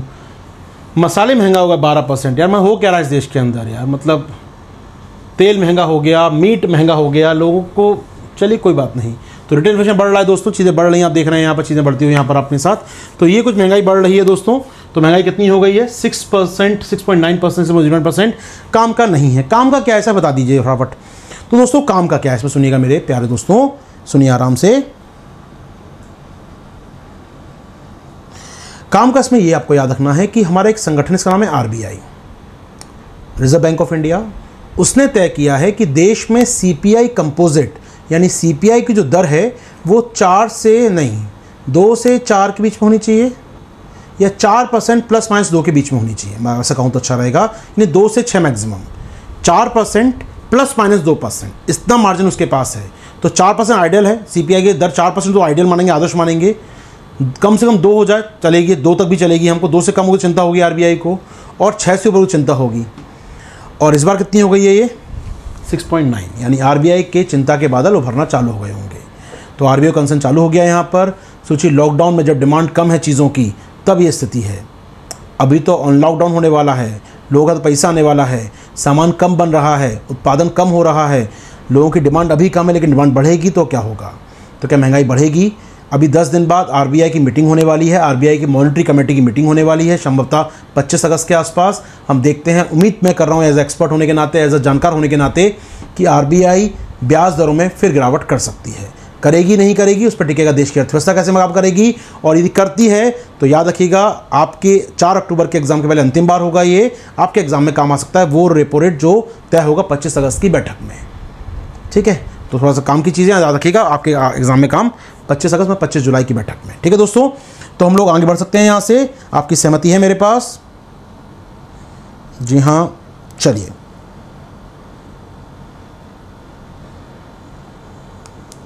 चलिए, बहुत बड़े दोस्तों, आगे चलेंगे हम लोग यहाँ से। अगले टॉपिक पर आएँगे, अगले मूव करेंगे टॉपिक पर आपके साथ। अगला न्यूज़ दोस्तों आपके स्क्रीन पर आ रहा है। छोटी सी खबर है, लेकिन इंपॉर्टेंट बहुत है। इसका थोड़ा सा ऑपरेशन भी कर लेंगे। समय कितना हो गया? ग्यारह बज गए दोस्त। बारह ख़त्म भी करना है। बारह बजे मुझे दूसरे चैनल पर जाना है। दौड़ा के भागूँगा फटाफट, भाग के पहुँचना है मुझे वहाँ पर भी। वरना आप लोग आ जाएँगे, कहेंगे, सर, आप लेट आते हैं, ये आते हैं, वो आते हैं। तो सुन लीजिए मामला क्या है दोस्तों। यहाँ पर देश का जो कपड़ा उद्योग है, जो कपड़ा निर्यात करते हैं अप्रैल कह लीजिए टेक्सटाइल बोल लीजिए गारमेंट्स बोल लीजिए। अच्छा एक बात है गारमेंट्स और टेक्सटाइल में अंतर होता है क्या कुछ? ढूंढ के बताइएगा मुझे आप लोग कमेंट बॉक्स में, ठीक है? गारमेंट्स और टेक्सटाइल में अंतर होता है क्या कुछ? आ, मैं बात कर रहा हूँ देश का जो गारमेंट्स और टेक्सटाइल का जो एक्सपोर्ट है अंतर होता है मतलब जो एक्सपोर्ट होता है भारत उसमें काफ़ी अच्छी स्थिति में है। उस उसका जो संघ है जो देश के अंदर वो निर्यात करते हैं जो एक्सपोर्ट करते हैं कपड़ों का उनका जो संघ उनका एसोसिएशन वो डरा हुआ है। डर के मारे उन्होंने चिट्ठी लिखी देश के प्रधानमंत्री को देश के कपड़ा मंत्री को टेक्सटाइल मिनिस्टर को। कौन है इस समय टेक्सटाइल मिनिस्टर कोई होंगे चलिए। स्मृति जी तो नहीं है ना? लास्ट सरकार में थी इस बार तो नहीं है शायद वो इस बार तो महिला बाल विकास मंत्री हैं वॉट एवर इंपॉर्टेंट बात है उन्होंने लेटर लिखा है टेक्सटाइल मिनिस्टर को। और क्या उन्होंने मांग की है? मांग उन्होंने यहाँ पर यह की है, जनाब, आप भी एफटीए कर लीजिए किसके साथ? उन देशों के साथ जहाँ हमारा माल जाता है। बहुत सिंपल सी लाइन दोस्तों एफटीए मतलब मुक्त व्यापार। बहुत सिंपल समझिएगा, भारत का माल यूरोप में जाता है कपड़ा बन के हमारे यहाँ से। यूरोप लगाता है हमारे माल के ऊपर नौ परसेंट का ड्यूटी नौ परसेंट कस्टम ड्यूटी लगाता है। ठीक बात है। हमारे बगल में बांग्लादेश है, वो भी कपड़ा बना के बेचता है यूरोप को। और बांग्लादेश के ऊपर लगता है ज़ीरो परसेंट, क्योंकि बांग्लादेश का फ्री ट्रेड है। वियतनाम से फ्री ट्रेड हो गया अभी। वियतनाम बड़ा कॉम्पिटिशन है हमारा। वियतनाम में कपड़ा बनता है, जाता है वो कहाँ पर? यू में लगता है ज़ीरो परसेंट ड्यूटी बहुत सारे अफ्रीकन देश हैं, बहुत सारे पड़ोसी आशियान के देश हैं हमारे, जो सब कपड़ा बेचते हैं यूरोप को। तो ऐसे में उनसे हमारा कंपटीशन हो रहा है और भारत को घाटा हो रहा है, क्योंकि भारत ने अब तक एफटी नहीं किया है, जो बड़े ग्राहक हैं हमारे ईयू कनाडा ऑस्ट्रेलिया और अमेरिका के साथ। तो भारत को हो रहा है घाटा। भारत कंपटीशन में नहीं टिक पाएगा। वियतनाम के, कैन्या के, बांग्लादेश के या इंडोनेशिया के या अन्य ऐसे देशों को जो कपड़ा बेचते हैं। तो यहाँ पर अपील आई है हमारे कपड़ा निर्यातक की तरफ़ से, भैया, संकट के दिन चल रहे हैं, सरकार कर लो यार, इनके संग एग्रीमेंट कर लो। हाथ जोड़ के कह रहे हैं, कर लो एग्रीमेंट इनसे। हम एग्रीमेंट क्यों नहीं कर रहे हैं? अभी दो दिन पहले आपको याद होगा, बताया था इंडिया यू एग्रीमेंट क्यों नहीं हो रहा है? दस साल से अटका पड़ा है, बारह साल से। बहुत सारे कारण है। वी फैक्टर याद है? वी फैक्टर याद है? वी फैक्टर याद है व्हीकल वाला फैक्टर याद होगा। यहाँ पर आपको बताई थी मैंने आपको किस प्रकार दवाइयों की मुश्किल होती है, शराब की मुश्किल है कई प्रकार से एग्रीकल्चर प्रोडक्ट बहुत ज़्यादा मुश्किल करते हैं व्हीकल की समस्याएँ हैं। दो दिन पहले हमने बात की थी इस क्लास में इंडिया यू में, आखिर ट्रेड क्यों नहीं हो पा रहा? तो उसी को रिवाइज करना है आपको। तो कई मुद्दे हैं कनाडा के साथ भी और जापान के साथ भी और ऑफकोर्स अमेरिका के साथ भी। फ्री ट्रेड नहीं कर पा रहे हम लोग उनके साथ एग्रीमेंट जिससे नुकसान होगा हमारे कपड़ा उद्योग को। कपड़ा उद्योग ज़रूरी क्यों है देश के लिए? मैं इसका बात है दो मिनट सुनना चाहेंगे समय हमारे पास है। सुन लीजिए दोस्तों आ, सुन लीजिए। बहुत प्यार से सुन लीजिए दोस्तों आज आपकी संख्या थोड़ा पसंद आई मुझे ऐसी बने रही हमारे साथ दोस्तों। यही प्यार चाहिए मुझे आपका जो आप प्यार कर रहे हैं इसको ना के रखिएगा इस शो को बना के रखिए अपने। आइए दोस्तों बात कर लें आपके साथ क्या कह रहा हूँ मैं आपसे आज। कपड़ा उद्योग ज़रूरी क्यों है देश के लिए? पाँच मिनट दीजिएगा। Why we need textile industry ये काम का क्या फटाफट सुनेंगे मेन्स पॉइंट ऑफ़ दो मिनट के अंदर मिनट के अंदर सारे पॉइंट क्लियर ये पॉइंट क्यों है? समझिएगा, देश में कपास होता है, कपास से धागा बनता है, कपड़ा बनता है डिज़ाइनर कपड़ा बनता है एक्सपोर्ट करते हैं। Primary sector manufacturing sector service sector और इवन एक्सपोर्ट भी। यानी देश में तीनों क्षेत्र एक साथ फ़ायदा जाता है। बिल्कुल बीज से लेकर वितरण तक पूरा काम हम कर लेते हैं। बीज से लेकर कपड़ा तक सारा काम हम करते हैं। यानी प्राइमरी सेक्टर सेकेंडरी और टर्शरी सेक्टर अर्थव्यवस्था के तीनों क्षेत्र, प्राथमिक द्वितीय तृतीय तीनों काम मिलता है, तीनों को रोज़गार मिलता है। यानी जो स्किल लेस उसके लिए भी काम है और जो शानदार डिज़ाइनर है, जो हैवी स्किल पर्सन है, उसके लिए भी काम है। जो ब्लू कॉलर वर्कर है, उसको भी काम मिल जाता है इंडस्ट्री के अंदर। यानी सबके लिए काम है। तो एक बहुत बड़ी इंडस्ट्री है प्राइमरी सेकेंडरी और टर्शरी को दे रही है रोज़गार, ये पहला काम। दूसरा डिसेंट्रलाइज्ड है। कपास देश में आप जाएँगे, पंजाब में महाराष्ट्र में, कर्नाटका में, तमिलनाडु में, नॉर्थ में जाएगा असम में मिल जाएगा, रेशम आपको वहाँ पर होता हुआ, देश के अंदर रेशम, टेक्सटाइल, कपास पूरे देश में होता है। डिसेंट्रलाइज घर घर में इकाइयाँ लगी हैं हमारे यहाँ पर यार। भारत तो कपड़े का एक हब हुआ करता था अंग्रेज़ों आने से पहले यहाँ पर। तो हमारे यहाँ भारत में कॉमन कल्चर कपड़े को लेकर, कपड़ा धागा काटना चरखा चलाना बहुत कॉमन फीचर रहा इंडिया में। तो इंडिया के कल्चर का पार्ट है और वी केंद्रीकृत है डिसेंट्रलाइज है अपने आप में। और जब डिसेंट्रलाइज का उद्योग होता है तो फ़ायदा क्या होता है? छोटी छोटी इकाइयाँ कई जगह पनपती हैं। तो भारत में टेक्सा इंडस्ट्री पनपा हुआ है हर जगह। आवश्यकता इसको सपोर्ट चाहिए, इसको पैसा चाहिए, इसको टेक्नोलॉजी चाहिए, इसको गवर्नमेंट का सपोर्ट चाहिए। दे पाएँगे, उभर जाएगा उद्योग। बड़े स्केल पर रोज़गार देता है। More than four crore employment देता है देश को ये। इसके अलावा महिलाओं से जुड़ा हुआ उद्योग है ये विमेन एम्पावरमेंट का उद्योग है। यदि आपने इसको मज़बूत किया तो विमेन एम्पावरमेंट होगा देश का, क्योंकि देश में कपड़ा बनाने का मुख्य काम, धागा काटने का मुख्य काम, ये जो काम है, महिलाओं के द्वारा बहुत बड़े स्केल पे किया जाता है डोमेस्टिक स्तर पर किया जाता है तो विमेन एम्पावरमेंट करना है अगर तो आपको टेक्सटाइल इंडस्ट्री की ज़रूरत पड़ने वाली है। जी हाँ और why why we need textile industry ये हब है, दुनिया का ब्रांड है मेक इन इंडिया इससे बढ़ावा मिलेगा मेक इन इंडिया को, आप दुनिया बेचेंगे कपड़ा यहाँ से। आप बेचेंगे यहाँ से मेक इंडिया के तहत कपड़ा यानी एक्सपोर्ट बढ़ेगा, देश का निर्यात बढ़ेगा। राइट नाउ दुनिया का पाँच परसेंट कपड़ा भारत से जाता है। जी हाँ दुनिया के कुल कपड़ा एक्सपोर्ट का पाँच परसेंट भारत करता है। यानी ऑलरेडी हमारे पास स्टैब्लिश चीज़ें हैं। हमको थोड़ा पुश करना है, हमको थोड़ा सपोर्ट करना है। और क्या है? भारत की जोग्राफिकल लोकेशन जी हाँ भारत उस जगह पर है जहाँ से पश्चिम का बाज़ार मुकाबले करीब है हमारे यहाँ पर। मिडिल ईस्ट में डिमांड है हमारे कपड़े की। यूरोप में डिमांड है हमारे कपड़े की। तो अगर हम कहें तो आसान होगा हमारे लिए जोड़ना इनके साथ यहाँ पर। इसके अलावा इंडिया में ब्रांड्स हैं। हमारे पास ब्रांड्स ग्लोबल डिमांड है इन ब्रांड्स की। आपको लगता नहीं है जो ब्रांड्स हमारे यहाँ पर हैं, चाहे वो विमल हो, चाहे वो सियाराम हो, चाहे वो आपके आपके रेमंड्स हों, ये ग्लोबल डिमांड वाले ब्रांड हैं। दुनिया में रेमंड्स के बड़े की मांग होती है। तो अगर ऐसा है तो हम क्यों नहीं एक्सपोर्ट करें? क्यों नहीं इनकी पोटेंशियल को और बढ़ाएँ हम लोग यहाँ पर? तो we have brands we have manpower we have raw material तो बढ़ना चाहिए। ब्रांड्स वाले ऑलरेडी बने हुए हैं हमारे। तो एक अच्छी बात दुनिया में कपड़ों की तो ऐसे में क्या करना पड़ेगा? थोड़ा सा पुश करना पड़ेगा सरकार को और हम लोग निकल जाएँगे आगे। तो समय है, यही वो थ्रस्ट है, यही वो क्रांतिक बिंदु है, ये वो थ्रेशोल्ड पॉइंट है जहाँ पर हम पुश किया अगर कपड़ा उद्योग को तो दुनिया में हम लीड बन जाएँगे। चाइना आज महाशक्ति बना है तो चीन की इस महाशक्ति बनने के पीछे जो बड़ी इंडस्ट्री थी, वो थी कपड़ा उद्योग। एक समय दुनिया का लगभग चालीस परसेंट कपड़ा चीन निकालता था। हम पाँच परसेंट पे हम इसको बीस भी कर लिए ना, बहुत बड़ी बात, बहुत बड़ा मार्केट है अपने आप में। और ये लेबर इंटेंसिव है ये रोज़गार देता है किसान को मिडिल मैन को मध्यवर्ती लोगों को रोज़गार देता है। ये नहीं कि एक कार कंपनी है सब कार रोबोट बना रहे हैं और एक व्यक्ति खड़ा होकर देख रहा है सारा काम। नहीं यहाँ पर लेबर इंटेंसिव रोज़गार जो देश को आवश्यकता है। तो बहुत बड़े स्केल पर ये काम देगा आपको। That's why we need textile industry समय खत्म है दोस्त समय नहीं है बहुत ज़्यादा मेरे पास वरना मैं चर्चा और करूँगा आपके साथ इस बारे में। आ, कोई सवाल आपके पास? चलिए ओके आगे बढ़ेंगे आपके साथ। आगे चलेंगे दोस्तों, फटाफट अगली खबर पे आपके संग आ रहे हैं आशीर्वाद सर। जुड़ जाइए आशीर्वाद सर के संग दोस्तों, क्योंकि जो जो काम आपको मिल रहा है, यहाँ जो जो आप कंटेंट मिल रहा है, वो यूट्यूबर नहीं दे पाएँगे। कोई यूट्यूबर नहीं दे पाएगा दोस्तों आपको यहाँ पर। मैंने टीचर का नाम रख दिया यूट्यूबर क्योंकि वो लोग सिर्फ़ देख के पढ़ा सकते हैं। उनके पास अपना एक्सपीरियंस नहीं, वो गलती उनकी नहीं है यार। मतलब कच्ची उम्र में आ गए पढ़ाने के लिए, मजबूरियाँ, घर का बहुत प्रेशर पढ़ाने का बेचारे आ गए हैं, लेकिन उनके पास अपना कोई अनुभव नहीं है। तो मैं तो दावा नहीं करता हूँ, लेकिन बहुत अच्छी बात है। जुड़ा हूँ आपसे। आज एक साल लगभग हो गया है मुझे जुड़े हुए आपके साथ। पंद्रह जुलाई को ऑनलाइन हुआ था पहले मैं। आज लगभग पंद्रह जुलाई आने वाला कुछ देर बाद। लगभग एक साल में बहुत कुछ सीखा मैं आपसे। मैंने बहुत कुछ आपसे सीखा, मैं जानता हूँ। और अपने कंटेंट को मैंने समराइज़ करना सीखा। पहले इसी बात को थोड़ा लंबा फैला के लिए बताते थे। आराम से बताते दो ढाई घंटे क्लास के अंदर। अब यही कंटेंट आपको एक घंटे के अंदर सप्लाई करता हूँ मैं। तो अच्छी बात हुई आपके साथ ये।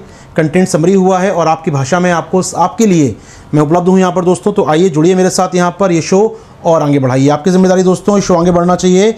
इससे कम में काम नहीं चलेगा। तो एफटी के नुकसान होंगे निश्चित तौर पे कुछ ना कुछ, लेकिन इसके फ़ायदे मिलेंगे जो बड़े स्केल पे मान रहे हैं तो छोड़ना नहीं चाहिए हमको। आगे बढ़ते हैं दोस्तों, आगे बढ़ेंगे आपके साथ। आगे टॉपिक पे आएँगे हम लोग यहाँ पर। कुछ डेटा आपके स्क्रीन पर मेरे साथ वो देख लीजिए फटाफट आप लोग। काम आएगा डेटा ये। भारत का एक्सपोर्ट कितना है कपड़ों का देख लीजिए। यहाँ पर आपकी स्क्रीन पर आप देख रहे हैं। कुल भारत का निर्यात कितना है? तीन सौ इकतीस बिलियन डॉलर का। ये भारत का टोटल एक्सपोर्ट है। जिसमें से गारमेंट और टेक्सटाइल कितना है दोस्तों आप स्क्रीन पर? 16 बिलियन का गारमेंट्स का है 36 का आपका टेक्सटाइल का। समस्या क्या है? पाँच सालों से ऑलमोस्ट कांस्टेंट है ये। ये समस्या है हमारे यहाँ पर, जबकि देश का ट्रेड पहुँच गया पचास अरब डॉलर एक्स्ट्रा ये बढ़ गया है, लेकिन आपका गारमेंट और टेक्सटाइल का जो रेशियो है fifty three fifty two fifty two fifty two यानी ये बढ़ ही नहीं रहा है। आपका ट्रेड बढ़ रहा है, लेकिन आपका ट्रेड में गारमेंट्स और मुझे कहना चाहिए नहीं दिख रहा पूरा स्क्रीन दोस्तों, देख लीजिए पूरा स्क्रीन दिख जाएगा आपको यहाँ पर। पूरा स्क्रीन दिख जाएगा, देख लीजिए आराम से। स्क्रीन शॉट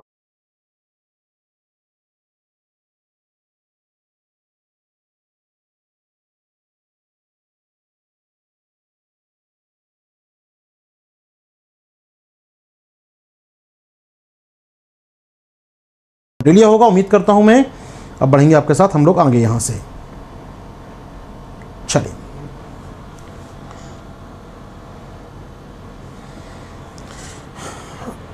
आसिफ अली पूछ रहे हैं, sir H two point zero में आप क्या पढ़ाने वाले हैं? आसिफ तो डिसाइड ही नहीं कर पाया हूँ, मालूम, बहुत समस्या बनी हुई है। इससे क्लास भी नहीं, आज तो क्लास वैसे ही नहीं पाती, लेकिन अब पढ़ा, सोच ही नहीं पा रहा हूँ क्या पढ़ाऊँ वहाँ पर मैं। तो डिसाइड कर रहा हूँ, थोड़ा समय लगेगा, लेकिन एक आधे में चालू कर दूँगा, चिंता ना करें। अगली खबर पर आ रहे हैं, सर, आशीर्वाद सर आपके साथ। तो भारत और ईयू के नेताओं की हुई मुलाकात। वर्चुअल मीटिंग हुई दोस्तों ये, और इस वर्चुअल मीटिंग में कुछ हुआ नहीं रिज़ल्ट कुछ नहीं आया। वर्चुअल ही रह गया सारा, सारे सपने वर्चुअल रह गए हमारे। उम्मीद थी कुछ फ्री डेट की बात करेंगे, उम्मीद थी कोविड नाइन्टीन कोई फंड बनाएँगे, उम्मीद थी कोई स्ट्रेटेजिक पार्टनरशिप करेंगे, कुछ नहीं हुआ। हलो हाय करके मतलब एक औपचारिकता पूरी कर दी मीटिंग हमने इस साल कर ली। तो ठीक है मतलब याद रखिएगा बी टी आई पे चर्चा नहीं हुई अगेन बी टी आई उम्मीद थी चर्चा होगी, नहीं हुई कोई मुचद्दा यहाँ पर। उन्होंने कहा कि हाँ दोबारा नई शुरुआत करते हैं बी टी आई पर, क्योंकि अब ब्रेग्जिट हो गया है ब्रिटेन अलग हो गया यहाँ से। तो आइए अब अट्ठाईस, सत्ताईस रह गए हम लोग अब तो सत्ताईस की दोबारा चर्चा शुरू करिए। तो मतलब दोबारा ज़ीरो चर्चा शुरू करना। दो हज़ार सात में चर्चा शुरू की थी, आज तक पूरी नहीं हुई, अब कह रहे हैं फ्रेश लुक करना। तो टाइम पास करना है कुल मिला के इन लोगों को यहाँ पर। तो बी साइन नहीं हो पाया। वो छोड़ दीजिए। इसके अलावा कोरोना को लेकर चर्चा होती रही यहाँ पर। उस पर कोई सहमति नहीं बनी। यहाँ पर कोई फंड बनाएँगे कोई रिसर्च करेंगे। कुछ नहीं हुआ हमारे पास यहाँ पर। आ, कुछ खास नहीं है कुछ फैक्चुअल इन्फॉर्मेशन आपके लिए है आपकी स्क्रीन पर दोस्तों। देख लीजिए पढ़ लीजिए स्क्रीन ले लीजिए। मैं बताता हूँ आपको यहाँ पर क्या स्क्रीन लेने के लिए इसमें आपके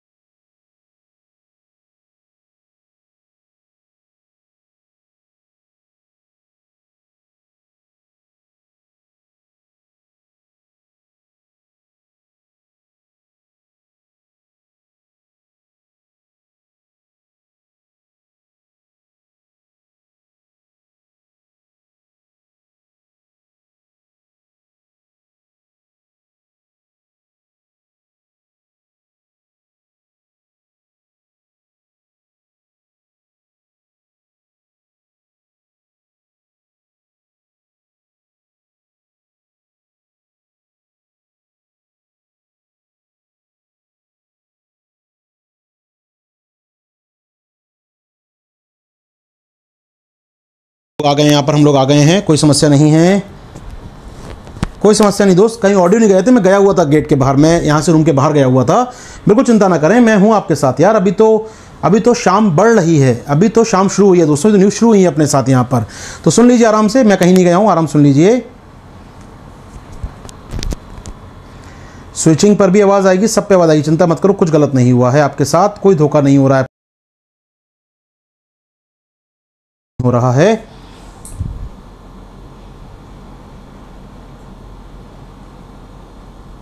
स्विचिंग पर भी डेटा आवाज़ आएगी, बिना स्विचिंग के भी आवाज़ आएगी, चिंता ना करें, सब एक्सपेरिमेंट हो चुका है।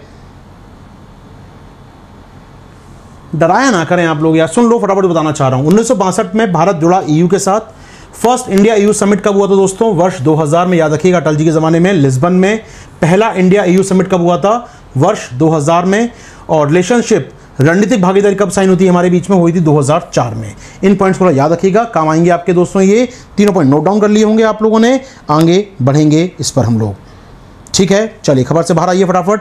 कुछ यहाँ पर निकल के नहीं आया बाहर यहाँ पर। वर्तमान में इंडिया यू ट्रेड आपके लिए एक्स्ट्रा नॉलेज दे रहा हूँ मैं आपको। वर्तमान में इंडिया यू ट्रेड कितना है आपकी स्क्रीन पर? ईयू से भारत में कितना माल आता है? मालूम है आपको? 38 बिलियन यूरो का।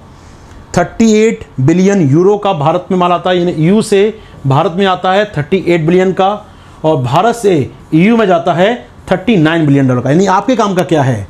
आपके काम का दोस्तों ये है, कब का डेटा? 2019 का डेटा है ये।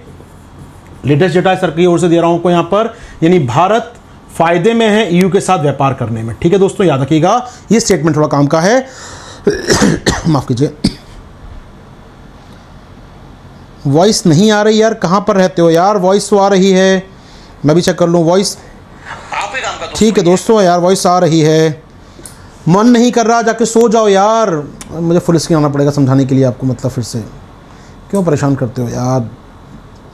बाल गोपाल लोग हो आप सच में। आवाज़ आ रही है दोस्तों मैं जानता हूँ आवाज़ आ रही है। आप लोगों का मन नहीं कर रहा होगा मैं जानता हूँ। मैं अभी पिछले लगभग आठ से नौ साढ़े नौ तक क्लास में लिया हूँ। दस मिनट एक चाय पिया मैं। फिर आपके संग जुड़ गया, फिर सवा दस से यहाँ पर अभी खत्म होने का एक क्लास और लेनी है मुझे जब फिर डेढ़ बजे तक जाएगी लगभग हो तो प्लीज़ दोस्तों, बना के रखिए कॉन्फिडेंस बना के रखिए चीज़ें यार, हम लोग पढ़ने पढ़ने पढ़ने वाले बच्चे हम लोग यहाँ पर। सब ठीक है यहाँ पर? ठीक है? तो याद रखिएगा, भारत ज़्यादा माल बेचता है यू को यू से हम लोग कम खरीदते हैं। थोड़ा सा फ़ायदा, छोटा सा फ़ायदा हमको यहाँ पर लिटिल बिट फ़ायदा हमको यहाँ पर बना हुआ है। याद रखिएगा सारी बातें यहाँ पर। चलिए, बाहर आएँगे हम लोग। नेक्स्ट पॉइंट नेक्स्ट टॉपिक आपकी स्क्रीन पर दोस्तों।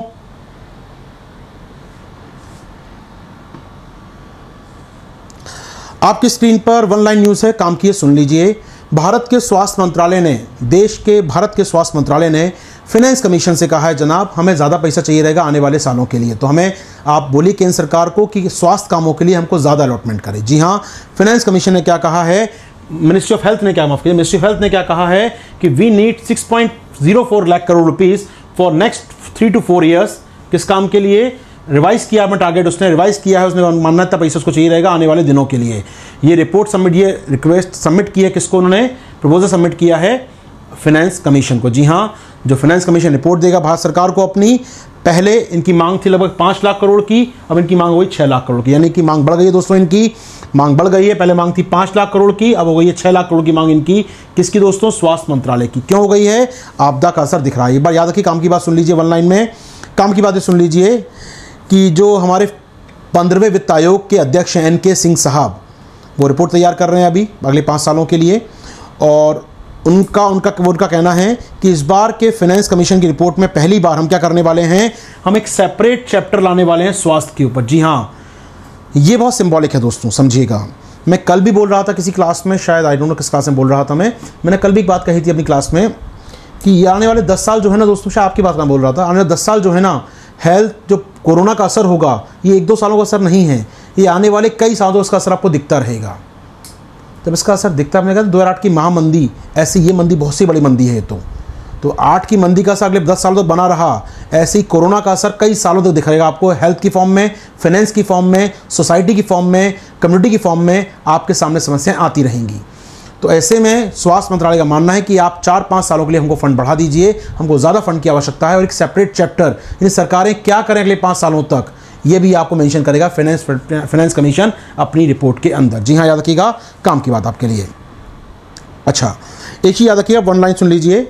देश की राष्ट्रीय स्वास्थ्य नीति एनएचपी देश की राष्ट्रीय स्वास्थ्य नीति नेशनल हेल्थ पॉलिसी कब आई थी मालूम है आपको? 2017 में, ठीक है? आपके लिए क्वेश्चन छोटा सा हम लोग अपने जीडीपी का कितना परसेंट खर्च करते हैं अपने हेल्थ पर? जीडीपी का कितना परसेंट खर्च करते हैं हेल्थ पर? ये मुझे आंसर चाहिए आपके साथ। और एनएचपी में कितना करने का लक्ष्य रखा गया? चाहिए बताता हूँ, ढाई परसेंट करने का लक्ष्य रखा गया, वो थोड़ा सुन लीजिए। 2.5 परसेंट ऑफ़ जीडीपी करने का लक्ष्य रखा गया है खर्च। किसमें?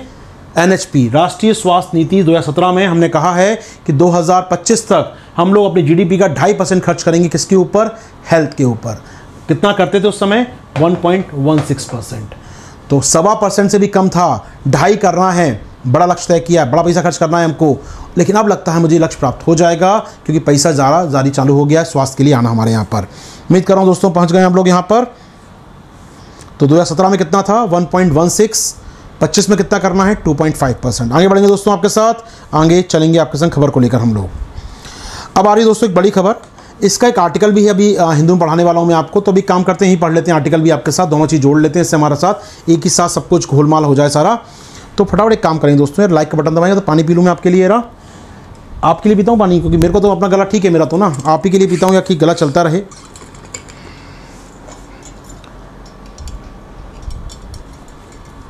लाइक का बटन दबा के आएँगे फटाफट आप लोग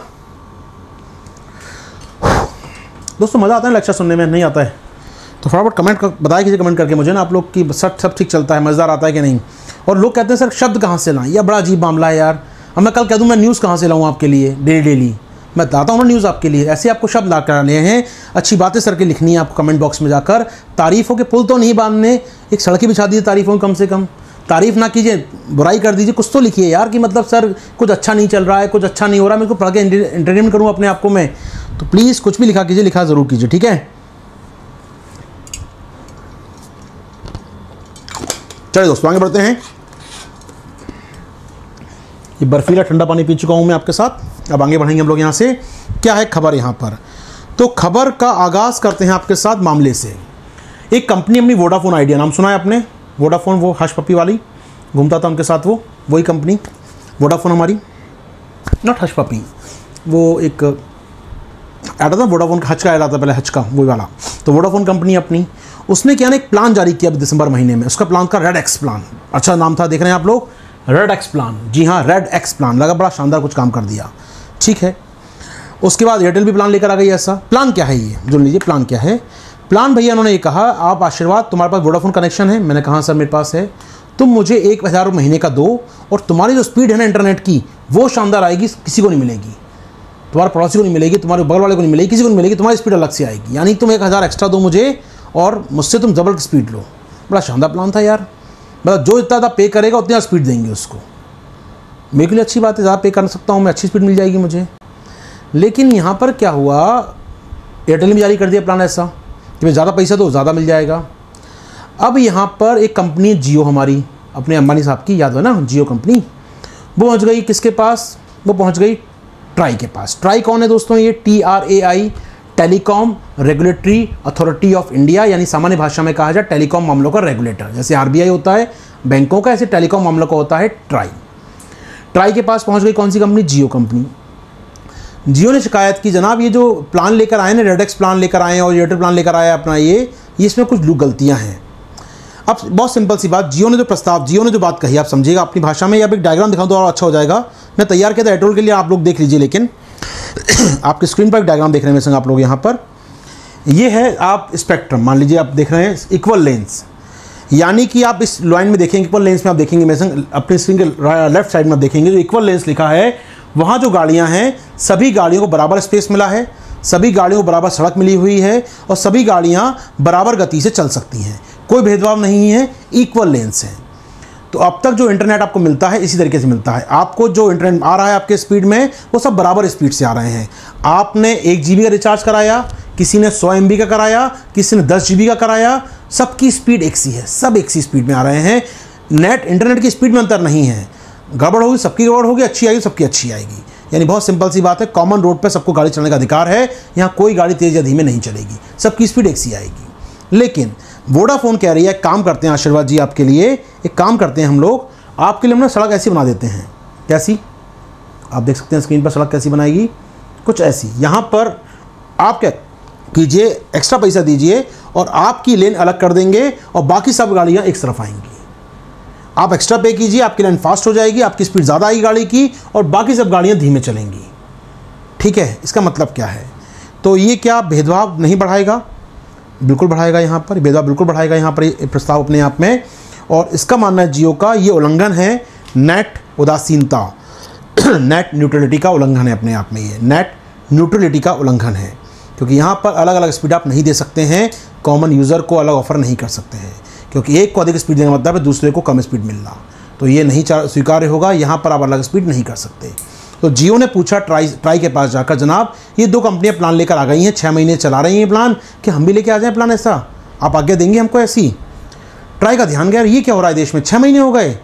दिसंबर से जून महीना आ गया, जुलाई महीना आ गया, अब तो कुछ एक्शन ही नहीं हुआ इनके ऊपर। ट्राई ने एक दिन का नोटिस दिया इनको, भैया, कल तक बताओ कि आपने प्लान जारी कैसे कर दिया बिना पूछे हमसे? तो कंपनी को बताया था जहाँ आपको हमने कंपनी ने कहा, बताया था दिसंबर महीने में आपको हमने, भेजा था लेटर आपके पास कि हम जारी कर रहे हैं प्लान हम दोबारा लेटर भेज रहे हैं, आप तो फ़ीस बढ़ा रहे हैं, हम तो इसकी। तो ट्राई ने कहा, बड़ा बदतमीजी यार, तुम बिना पूछे काम लॉन्च कर देते हो। ट्राई को कहा, भैया लेटर भेजा था, आपने देखा नहीं होगा पहले। तो क्या किया ट्राई ने? कहा, आपके लाइसेंस कैंसिल होते हैं इन चीज़ों के, आप इसको जारी नहीं कर सकते। जिनको बेचा है, उनके भी छीन लो।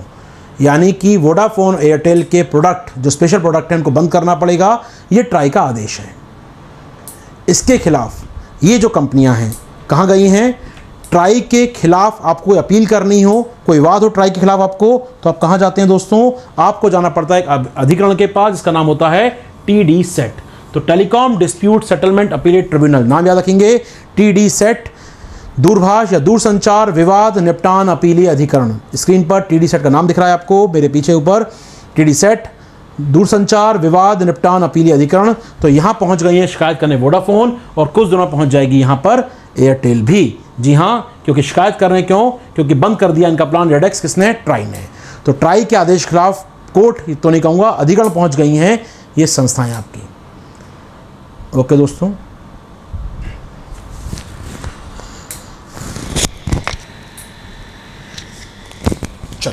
कंटिन्यू करते हैं आपके साथ दोस्तों हम लोग कंटिन्यू करेंगे हम लोग यहाँ पर। तो ये आ, समझ सकते हैं इसमें गलतियाँ हैं लूपहोल्स क्या हैं यहाँ पर। एक छोटी सी गलती ये है कि छः महीने से ट्राई की नाक के नीचे सब कुछ हो रहा था ये ट्राई आज तक एक्शन क्यों नहीं लिया इनके ऊपर? पहली बात। दूसरी बात, जब जियो ने कंप्लेन की, तब क्यों एक्शन लिया? तो और संदेह हो जाता है तो चीज़ों का कि जियो वाला नहीं चाहता ये प्लान चले इन लोगों का। तो जियो वाले से आप जियो की शिकायत आती है, आप एक्शन लेते हैं तुरंत उसके बाद। तो बहुत कुछ है इसके अंदर छुपा हुआ। और तीसरी बात, क्यों हमारी कंपनियाँ बार बार उस बेसिक प्रिंसिपल को वायलेशन करती हैं, जिसे हम कहते हैं नेट उदासीनता? सबको बराबरी का नेट मिलने का अधिकार है। किसी की स्पीड कम नहीं होना चाहिए यहाँ पर। तो इसका उल्लंघन क्यों कर रही है हमारी कंपनियाँ? जब उनको मालूम है रूल्स क्या है देश के तो। तो निश्चित तौर पर कंपनी की हिमाकत बढ़ गई है। इन पर एक्शन होना चाहिए और ट्राई का कदम सही मानते हैं हम लोग। क्या दोस्तों, ठीक है हमारी बात यहाँ पर? सब कुछ ठीक चल रहा है? प्रताप, अमेंद्र कह रहे हैं, सर स्पेक्ट्रम बता दीजिए। दोस्त स्पेक्ट्रम बताने के लिए साइंस पढ़ाना पड़ेगा मुझे आपको। थोड़ा सा समय लगता है उसके अंदर। थोड़ा छोटा भी बता देता हूँ, आपको थोड़ा लंबा टॉपिक समय लग जाएगा तो मैं बाकी चीज़ छूट जाएँगे। कभी मौका मिला तो बता दूँगा, वरना टाइप करना स्पेक्ट्रम कोई टीचर का नाम टाइप कर देना यूट्यूबर के पास चले जाना, बता दे, कोई भी आपको जाकर बहुत सारे टीचर पढ़ाते रहते हैं, कोई बता देगा आपको स्पेक्ट्रम के बारे में। ठीक है दोस्तों, आगे बढ़ेंगे आपके साथ हम लोग, आगे चलेंगे, अगली खबर पर आते हैं आपके साथ। अगली खबर क्या है दोस्तों आपके स्क्रीन पर मेरे साथ? अगली खबर आपके स्क्रीन पर आ रही है दोस्तों यहाँ पर। खबर क्या है? नबार्ड ने लॉन्च किया है पाँच हज़ार करोड़ का क्या? बैंक रीफाइनेंसिंग फैसिलिटी किसके लिए? वाटर शेड डेवलपमेंट प्रोजेक्ट के वन लाइन सुनिए, बहुत काम की न्यूज़ है। न्यूज़ क्या दोस्तों? फिर सुनिए आराम से। नबार्ड ने नबार्ड क्या है? देश का डेवलपमेंट बैंक है, विकास बैंक है देश का। इस्टेब्लिश इन 1982 नबार्ड भारत सरकार का बैंक है। भारत सरकार के अधीन आ गया, पूरा आरबीआई के अधीन नहीं बचा है। पूरा भारत सरकार का बैंक है वो वो। तो नबार्ड पूरा नाम क्या है दोस्तों? नबार्ड का national bank for agriculture and rural development scheme में देख रहे हैं नाम लिखा हुआ है यहाँ पर नबार्ड का बड़ा सा। राष्ट्रीय कृषि और ग्रामीण विकास बैंक स्थापना हुई थी उन्नीस सौ बयासी में इसकी। ये क्या करता है? ग्रामीण विकास के लिए रीफाइनेंस करता है। रीफाइनेंस बॉडी है। ये बैंक को लोन देता है बैंक आगे लोन देता है। जी हाँ रीफाइनेंस बॉडी है। तो नबार्ड ने पाँच हज़ार करोड़ का एक, एक एक सुविधा बनाई है जहाँ से बैंक पैसा ले सकते हैं। बैंक पैसा लेंगे इस पाँच हज़ार करोड़ में से सस्ती दरों पर बहुत और बैंक इसको आगे लोन देंगे। मालूम है कैसे? ऐसी परियोजनाओं के लिए जो जल संभरण की दिशा में काम कर रही हैं वाटर शेड की दिशा में काम कर रही हैं, उन छोटी मोटी परियोजनाओं के लिए बैंक लोन देंगे। और बैंक कहाँ से पैसा प्राप्त करेंगे? नबार्ड से। तो याद रखिएगा, देश में पाँच हज़ार करोड़ का एक फंड तैयार किया गया है, जिसकी सहायता से वाटर शेड डेवलपमेंट प्रोजेक्ट्स के लिए लाभार्थियों को ऋण दिया जाएगा, बैंक यहाँ से फंड लेगा और आगे देगा। सस्ती ब्याज दरों पर आगे फंड देगा यहाँ पर। तो बहुत काम की न्यूज़ है। इंपॉर्टेंट खबर लिख दो अच्छा रहेगा, समझ जाएँगे आप लोग। इसका मतलब क्या है? ऐसी खबरें यूपीएससी पूछता है। चलिए दोस्तों, आगे बढ़ते हैं आपके साथ, यहाँ पर लोग आगे बढ़े हम लोग यहाँ से। इसके अलावा और सुन लीजिए यहाँ पर। इसके अलावा नबार्ड ने एक फंड हाउस स्थापित किया है। नबार्ड ने एक फंड हाउस स्थापित किया है, पाँच हज़ार करोड़ का फंड स्थापित किया है। उसका काम क्या है? सुनिए, आराम से सुनिएगा। पाँच हज़ार करोड़ का एक और फंड नबार्ड ने स्थापित किया, वो क्या करेगा? ये one stop shop for meeting the very need of the farmer सुन लीजिए क्या करने वाला है आशीर्वाद सर की ज़मानी में। ये जो पाँच करोड़ का फंड होगा दोस्तों, ये क्या करेगा मालूम है? ये देश के पीएसीएस को पीएसीएस क्या आप नाम देख रहे हैं स्क्रीन में पीछे लिखा हुआ है पूरा नाम। प्राथमिक कृषि साख समितियाँ। फिर सुन लीजिए, प्राथमिक कृषि साख समितियाँ या सोसाइटीज़ इनको क्या करेगा? मॉडर्नाइज करेगा। यहाँ कंप्यूटर नहीं लगे हैं। यहाँ पर टेक्नोलॉजी का यूज़ नहीं होता है। तो देश की बहुत सारी पी जो सीधे जुड़ी हैं किसान के साथ। यहाँ होता क्या पी एस में? पी एस गाँव में होती है एक। गाँव के कुछ लोग जमा करते हैं पैसा इसके अंदर और कुछ लोग पैसा उधार मिलता है। यानी गाँव में किसान के पास सबसे पहला कोई बैंक होता है तो पीएससीएस होता है। प्राथमिक कृषि साख समितियाँ होती हैं। ये गाँव के लोगों द्वारा मिलकर बनाई जाती हैं और गाँव के लोगों को ही लोन देती हैं। तो गाँव के व्यक्ति को पाँच हज़ार लोन चाहिए, आठ हज़ार लोन चाहिए, दस हज़ार लोन चाहिए तो कहाँ जाएगा वो? इन्हीं पीएससीएस के पास। एक प्रकार बैंक ही अपने आप में सहकारी समितियाँ एक प्रकार की, लेकिन बहुत ही आउटडेटेड है मॉडर्नाइज नहीं है आज तक। तो यहाँ पर क्या कर रहा है आरबीआई नबार्ड? इन संस्थाओं को मॉडर्नाइज करने के लिए राज्यों के साथ मिलकर एक फंड तैयार कर रहा है, और नबार्ड ने कितना योगदान दिया इस काम के लिए? पाँच हज़ार करोड़ का। जी हाँ तो नबार्ड का फंडिंग है यहाँ पर पाँच हज़ार करोड़ का। नबार्ड पाँच हज़ार करोड़ देगा पीएससीएस को मॉडर्नाइज करने के लिए। याद रखिएगा, इसमें क्या करना है आपको? राज्यों के साथ मिलकर काम करना है। हो पाएगी बात हमारी यहाँ पर ये। उम्मीद कर रहा हूँ, बहुत इंपॉर्टेंट है पीएससीएस याद रखिएगा। यहाँ पर राज्यों को सहयोग करना पड़ेगा। ठीक है, चलिए। तो यहाँ पर क्या होगा? नबार्ड फिंस करेगा राज्य को, राज्य अपना पैसा मिलाएगा कुछ, और अल्टीमेटली पीएससीएस को मॉडर्नाइज किया जाएगा। तो याद रखिएगा टारगेट हमारा इस साल पाँच हज़ार पी मॉडर्नाइज किए जाएँ, अगले साल पंद्रह हज़ार, और फिर अगले साल पंद्रह हज़ार। यानी कुल मिलाकर पैंतीस हज़ार पी को अपग्रेड किया जाएगा आने वाले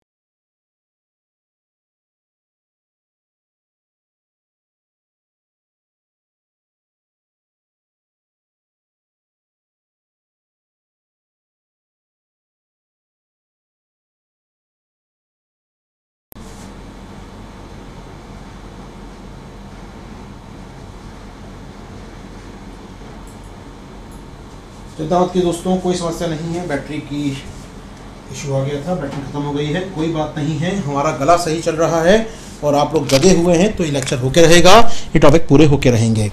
मेरी बात पहुँच रही दोस्तों, आप तक बताइए पहुँची कि नहीं पहुँची दोस्तों? क्योंकि अभी कुछ बड़े टॉपिक मुझे करने हैं आपके साथ। सब कुछ ठीक चल रहा है हमारे बीच, सब कुछ ठीक चल रहा है।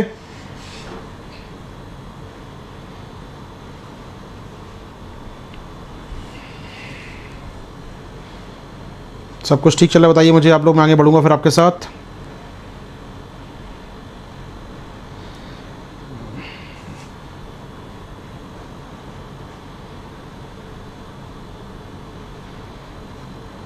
ठीक है, सब कुछ ठीक चल रहा है दोस्तों। आज आप रिकॉर्ड संख्या में हैं तो मेरा काम बनता है, मैं पढ़ाऊँ आपको यहाँ पर। तो दोस्तों, सुन लीजिए, पैंतीस हज़ार पी अपग्रेड होंगी कितने? तीन सालों में। आज दोस्तों आप 1.5 के क्रॉस कर गए हैं।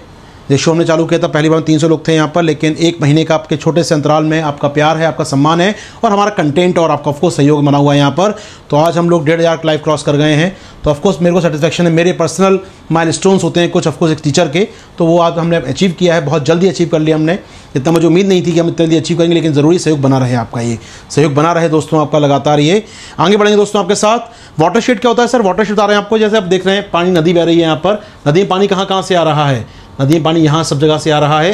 तो ये पूरा एरिया क्या कहलाएगा? जहाँ का पानी एक जगह इकट्ठा होता है, ये पूरा कहलाता है जल संभरण क्षेत्र वाटर शेड एरिया ये नदी है, इस नदी में जहाँ जहाँ से पानी आ रहा है तो पूरा एरिया मिला के कहलाता है वाटर शेड एरिया तो इसका डेवलपमेंट करना होता है ड्रेनेज कैनाल्स होती हैं वाटर शेड मैनेजमेंट होता है।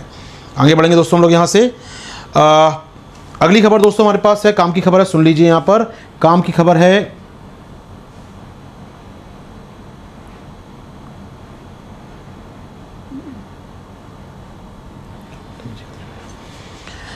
अगली खबर दोस्तों, भारत के लिए अच्छी खबर नहीं है। सुन लीजिए, लेकिन जानना ज़रूरी है आपके लिए। क्या हुआ है? ईरान ने भारत से कहा है कि जनाब, ये जो आप रेल परियोजना बनाने वाले थे ना, कहाँ से कहाँ तक? चाबहार से लेकर जहदान तक। आप और हम पार्टनर थे इस परियोजना में, चाबहार। चाबहार कहाँ है? पाकिस्तान ग्वादर के पास में, चाबहार ईरान का पोर्ट यहाँ से लेकर आप रेल ट्रैक बनाने वाले थे कहाँ तक? जहदान तक। जिसमें भारतीय कंपनी इरकॉन और ईरानियन रेलवे कंपनी पार्टनर थी। इरकॉन को पैसा देना था, तकनीक देनी थी, निवेश करना था इसमें। लेकिन भारत ने साइन तो किया। मई 2016 में तस्वीर आप देख रहे हैं, बहुत ऐतिहासिक तस्वीर है, जहाँ पर हम देख रहे हैं हसन रूहानी साहब अफ़गानिस्तान के राष्ट्रपति साहब, मोदी साहब। इन तीनों ने एग्रीमेंट तो साइन किया कि हाँ सहयोग करेंगे निवेश करेगा भारत। लेकिन हुआ क्या?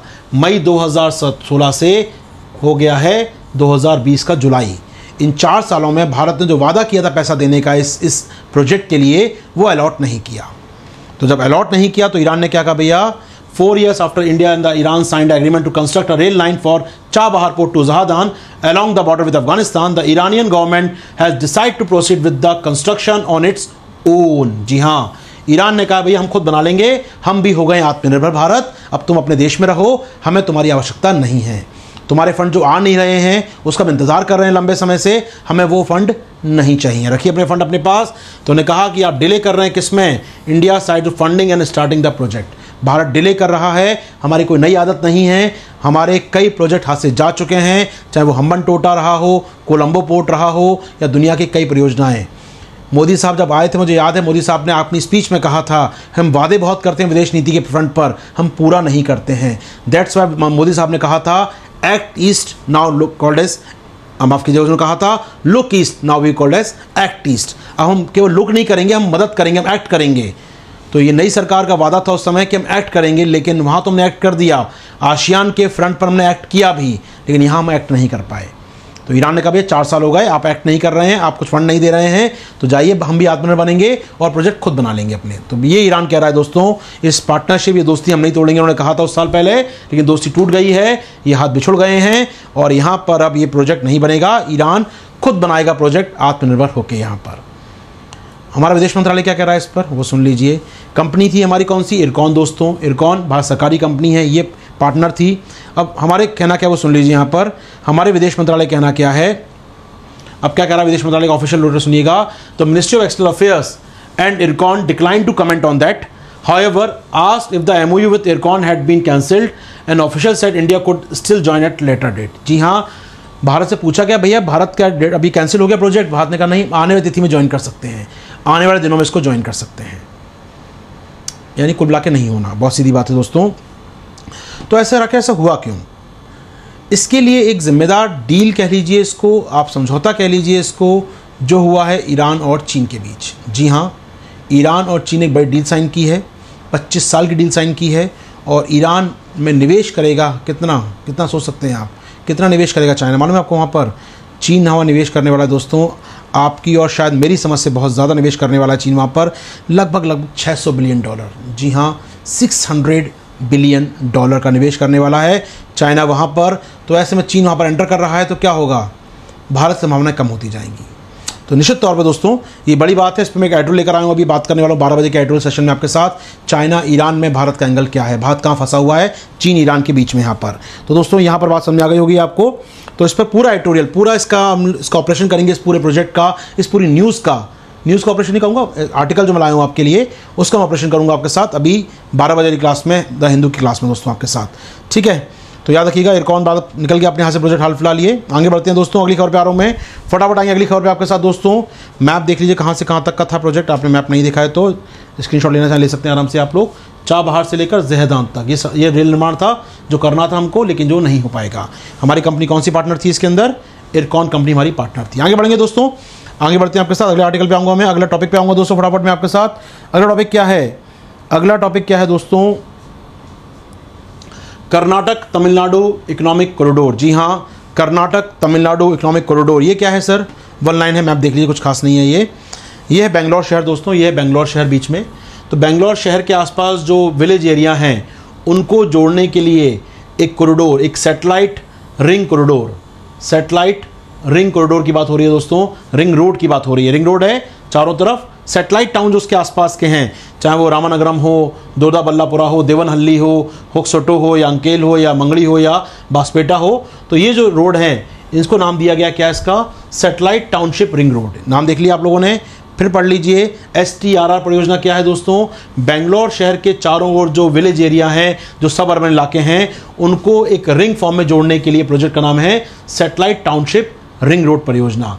इस परियोजना को अप्रूव कर दिया है ई e आई माफ़ कीजिएगा, इस परियोजना का ई आई ए अप्रूवल मिल गया है। ई आई ए अप्रूवल यानी कि पर्यावरण प्रभाव मूल्यांकन को अप्रूवल मिल गया है, यानी एनवायरमेंट का क्लियरेंस मिल गया है। जी हाँ दोस्तों, बड़ी खबर अपने आप में ये ये जो परियोजना है, इसे एक्सपराइजल कमेटी ने अप्रूव कर दिया है। उनका मानना है परियोजना ठीक है, ये बन सकती है। तो उन्होंने रिकमेंड किया मंत्रालय को कि भैया इसको परमिशन दे दी जाए।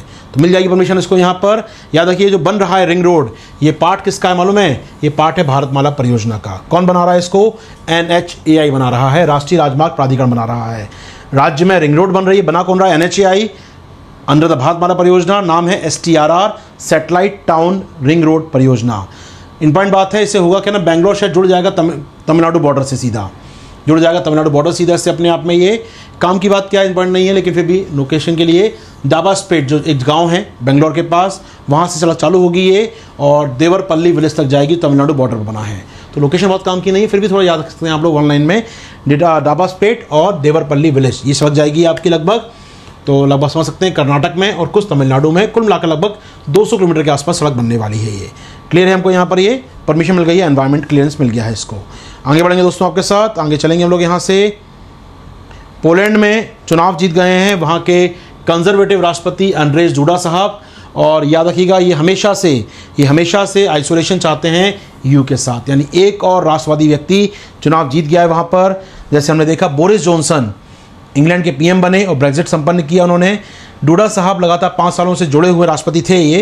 ये लगातार एंटी यू बात करते रहे हैं, यू के साथ नहीं चलना चाहते हैं ये, और ऐसे में इनका अगले पाँच साल कार्यकाल रहना, ये यू में बड़े बदलाव का संकेत हो सकते हैं। तो निश्चित तौर में यू में जो राइट विंग की जो सत्ता थी, कमज़ोर नहीं पड़ी है, हमें लगा था शायद कोविड नाइन्टीन के बाद राइट विंग लोगों को बाहर फेंक दिया जाएगा सत्ता से निकाल कर लेकिन ऐसा नहीं हुआ। यहाँ पर सत्ता में बने हुए डोडा साहब और लगातार दूसरी बार ये चुनाव जीत गए हैं। और इस बार तो ये कह रहे हैं कि मीडिया पर कंट्रोल करेंगे, अपने देश की मीडिया पर जुडिशरी पर कंट्रोल करेंगे, और इसके, इनके खिलाफ ईयू में एक प्रस्ताव तैयार हो रहा है कि ये एक राष्ट्रपति ईयू का मेंबर है पोलैंड। ईयू के मेंबर एक राष्ट्रपति अपने देश में मीडिया पर कंट्रोल करना चाहते हैं जुडिशरी पर कंट्रोल करना चाहते हैं, जो ईयू के लिए अच्छी बात नहीं है। तो ईयू प्रस्ताव लाने वाला है। डूडा साहब के खिलाफ नज़र रखिएगा। डूडा साहब अच्छे मित्र हैं अपने अपने अंकल साहब के, ट्रंप साहब के अच्छे मित्र हैं। तो आप समझ गए होंगे, दोनों टाइम मैगजीन फ़ोटो छापी समझ सकते हैं इसका। तो आपको याद एक खबर, याद खबर याद दिलाता हूँ मैं आपको। अभी कुछ दिन खबर पड़ी थी हमने कि ये ट्रंप साहब ने आदेश दिया है कि जर्मनी में जो नाटो के सैनिक हैं, अमेरिका के सैनिक उनको निकाला जाए वहाँ से। याद है? याद है। और कहाँ तैनात किया जाए उनको, मालूम है? पोलैंड में। कि पोलैंड कह रहा है, खतरा है हमको रशिया से, हमें सेना चाहिए, हमें सहयोग चाहिए। कि राष्ट्रवादी क्या होते हैं? इससे खतरा है, विदेशी से खतरा है, ये आके मारेगा, वो आके मारेगा, मिसाइल बनाओ, एटम बम बनाओ। ये होते हुए, ये लोग होते हैं, सीमा पर खतरा दिखता है इनको हमेशा। देश के अंदर भुखमरी दिखती है इनको, सीमा पर खतरा दिखता है इनको।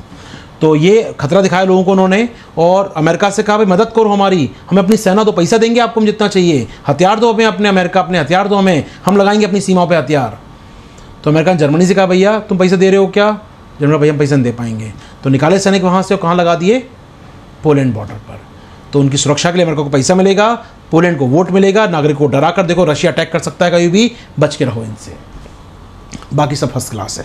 ठीक है दोस्तों तो ये हैं पोलैंड के राष्ट्रपति नए राष्ट्रपति इन कहूँगा। दोबारा निर्वाचित राष्ट्रपति डूडा साहब, उनके साथ ट्रंप साहब हैं। ये पुरानी फ़ोटो है, नई फ़ोटो नहीं है। तो समझ सकते हैं, सिर्फ़ इसलिए दिखाया कि सांकेतिक तौर पर जोड़ पाएँ राइट विंग के नेता इनको याद रख पाएँ आप लोग। क्योंकि इनके आने से ईयू में फिर बिखराव हो सकता है। तो दोस्तों, ये थी अपनी की कुछ खबरें। यहाँ पर मैं आपकी क्लास को आज आराम देंगे, विराम देंगे, रोकेंगे अपनी क्लास को। उम्मीद कर रहा हूँ, पसंद आया होगा लेक्चर लगभग एक घंटे बीस मिनट का लेक्चर आपके साथ किया हम लोगों ने। उम्मीद कर रहा हूँ पसंद आया होगा, पसंद आता तो क्या करना है दोस्तों? नीचे कमेंट बॉक्स है। भर दीजिए कमेंट बॉक्स को, अच्छे कमेंट से, बुरे कमेंट से डिसलाइक से लाइक से, जो पसंद आता है करिए, लेकिन करिए ज़रूर जाके कमेंट इससे मालूम पड़ेगा, आप सक्रिय होकर ये शो देखते हैं। तो दोस्तों, मेरी मेहनत पसंद आया आप लोगों को तो प्लीज़ लाइक कीजिए कमेंट कीजिए और शेयर तो ज़रूर करिए विशेष और बढ़ाइए दोस्तों, बिना बढ़े मज़ा नहीं आएगा, बिना बढ़े बात नहीं बनेगी। तो दोस्तों, जुड़िए मेरे साथ। बाकी कल शाम चालू हो रहा है, कल शाम से कहाँ चालू हो रहा है दोस्तों? प्लस पे। क्या चालू हो रहा है आपका? अन अकेडमी सब्सक्रिप्शन पे चालू हो रहा है दोस्तों, क्या?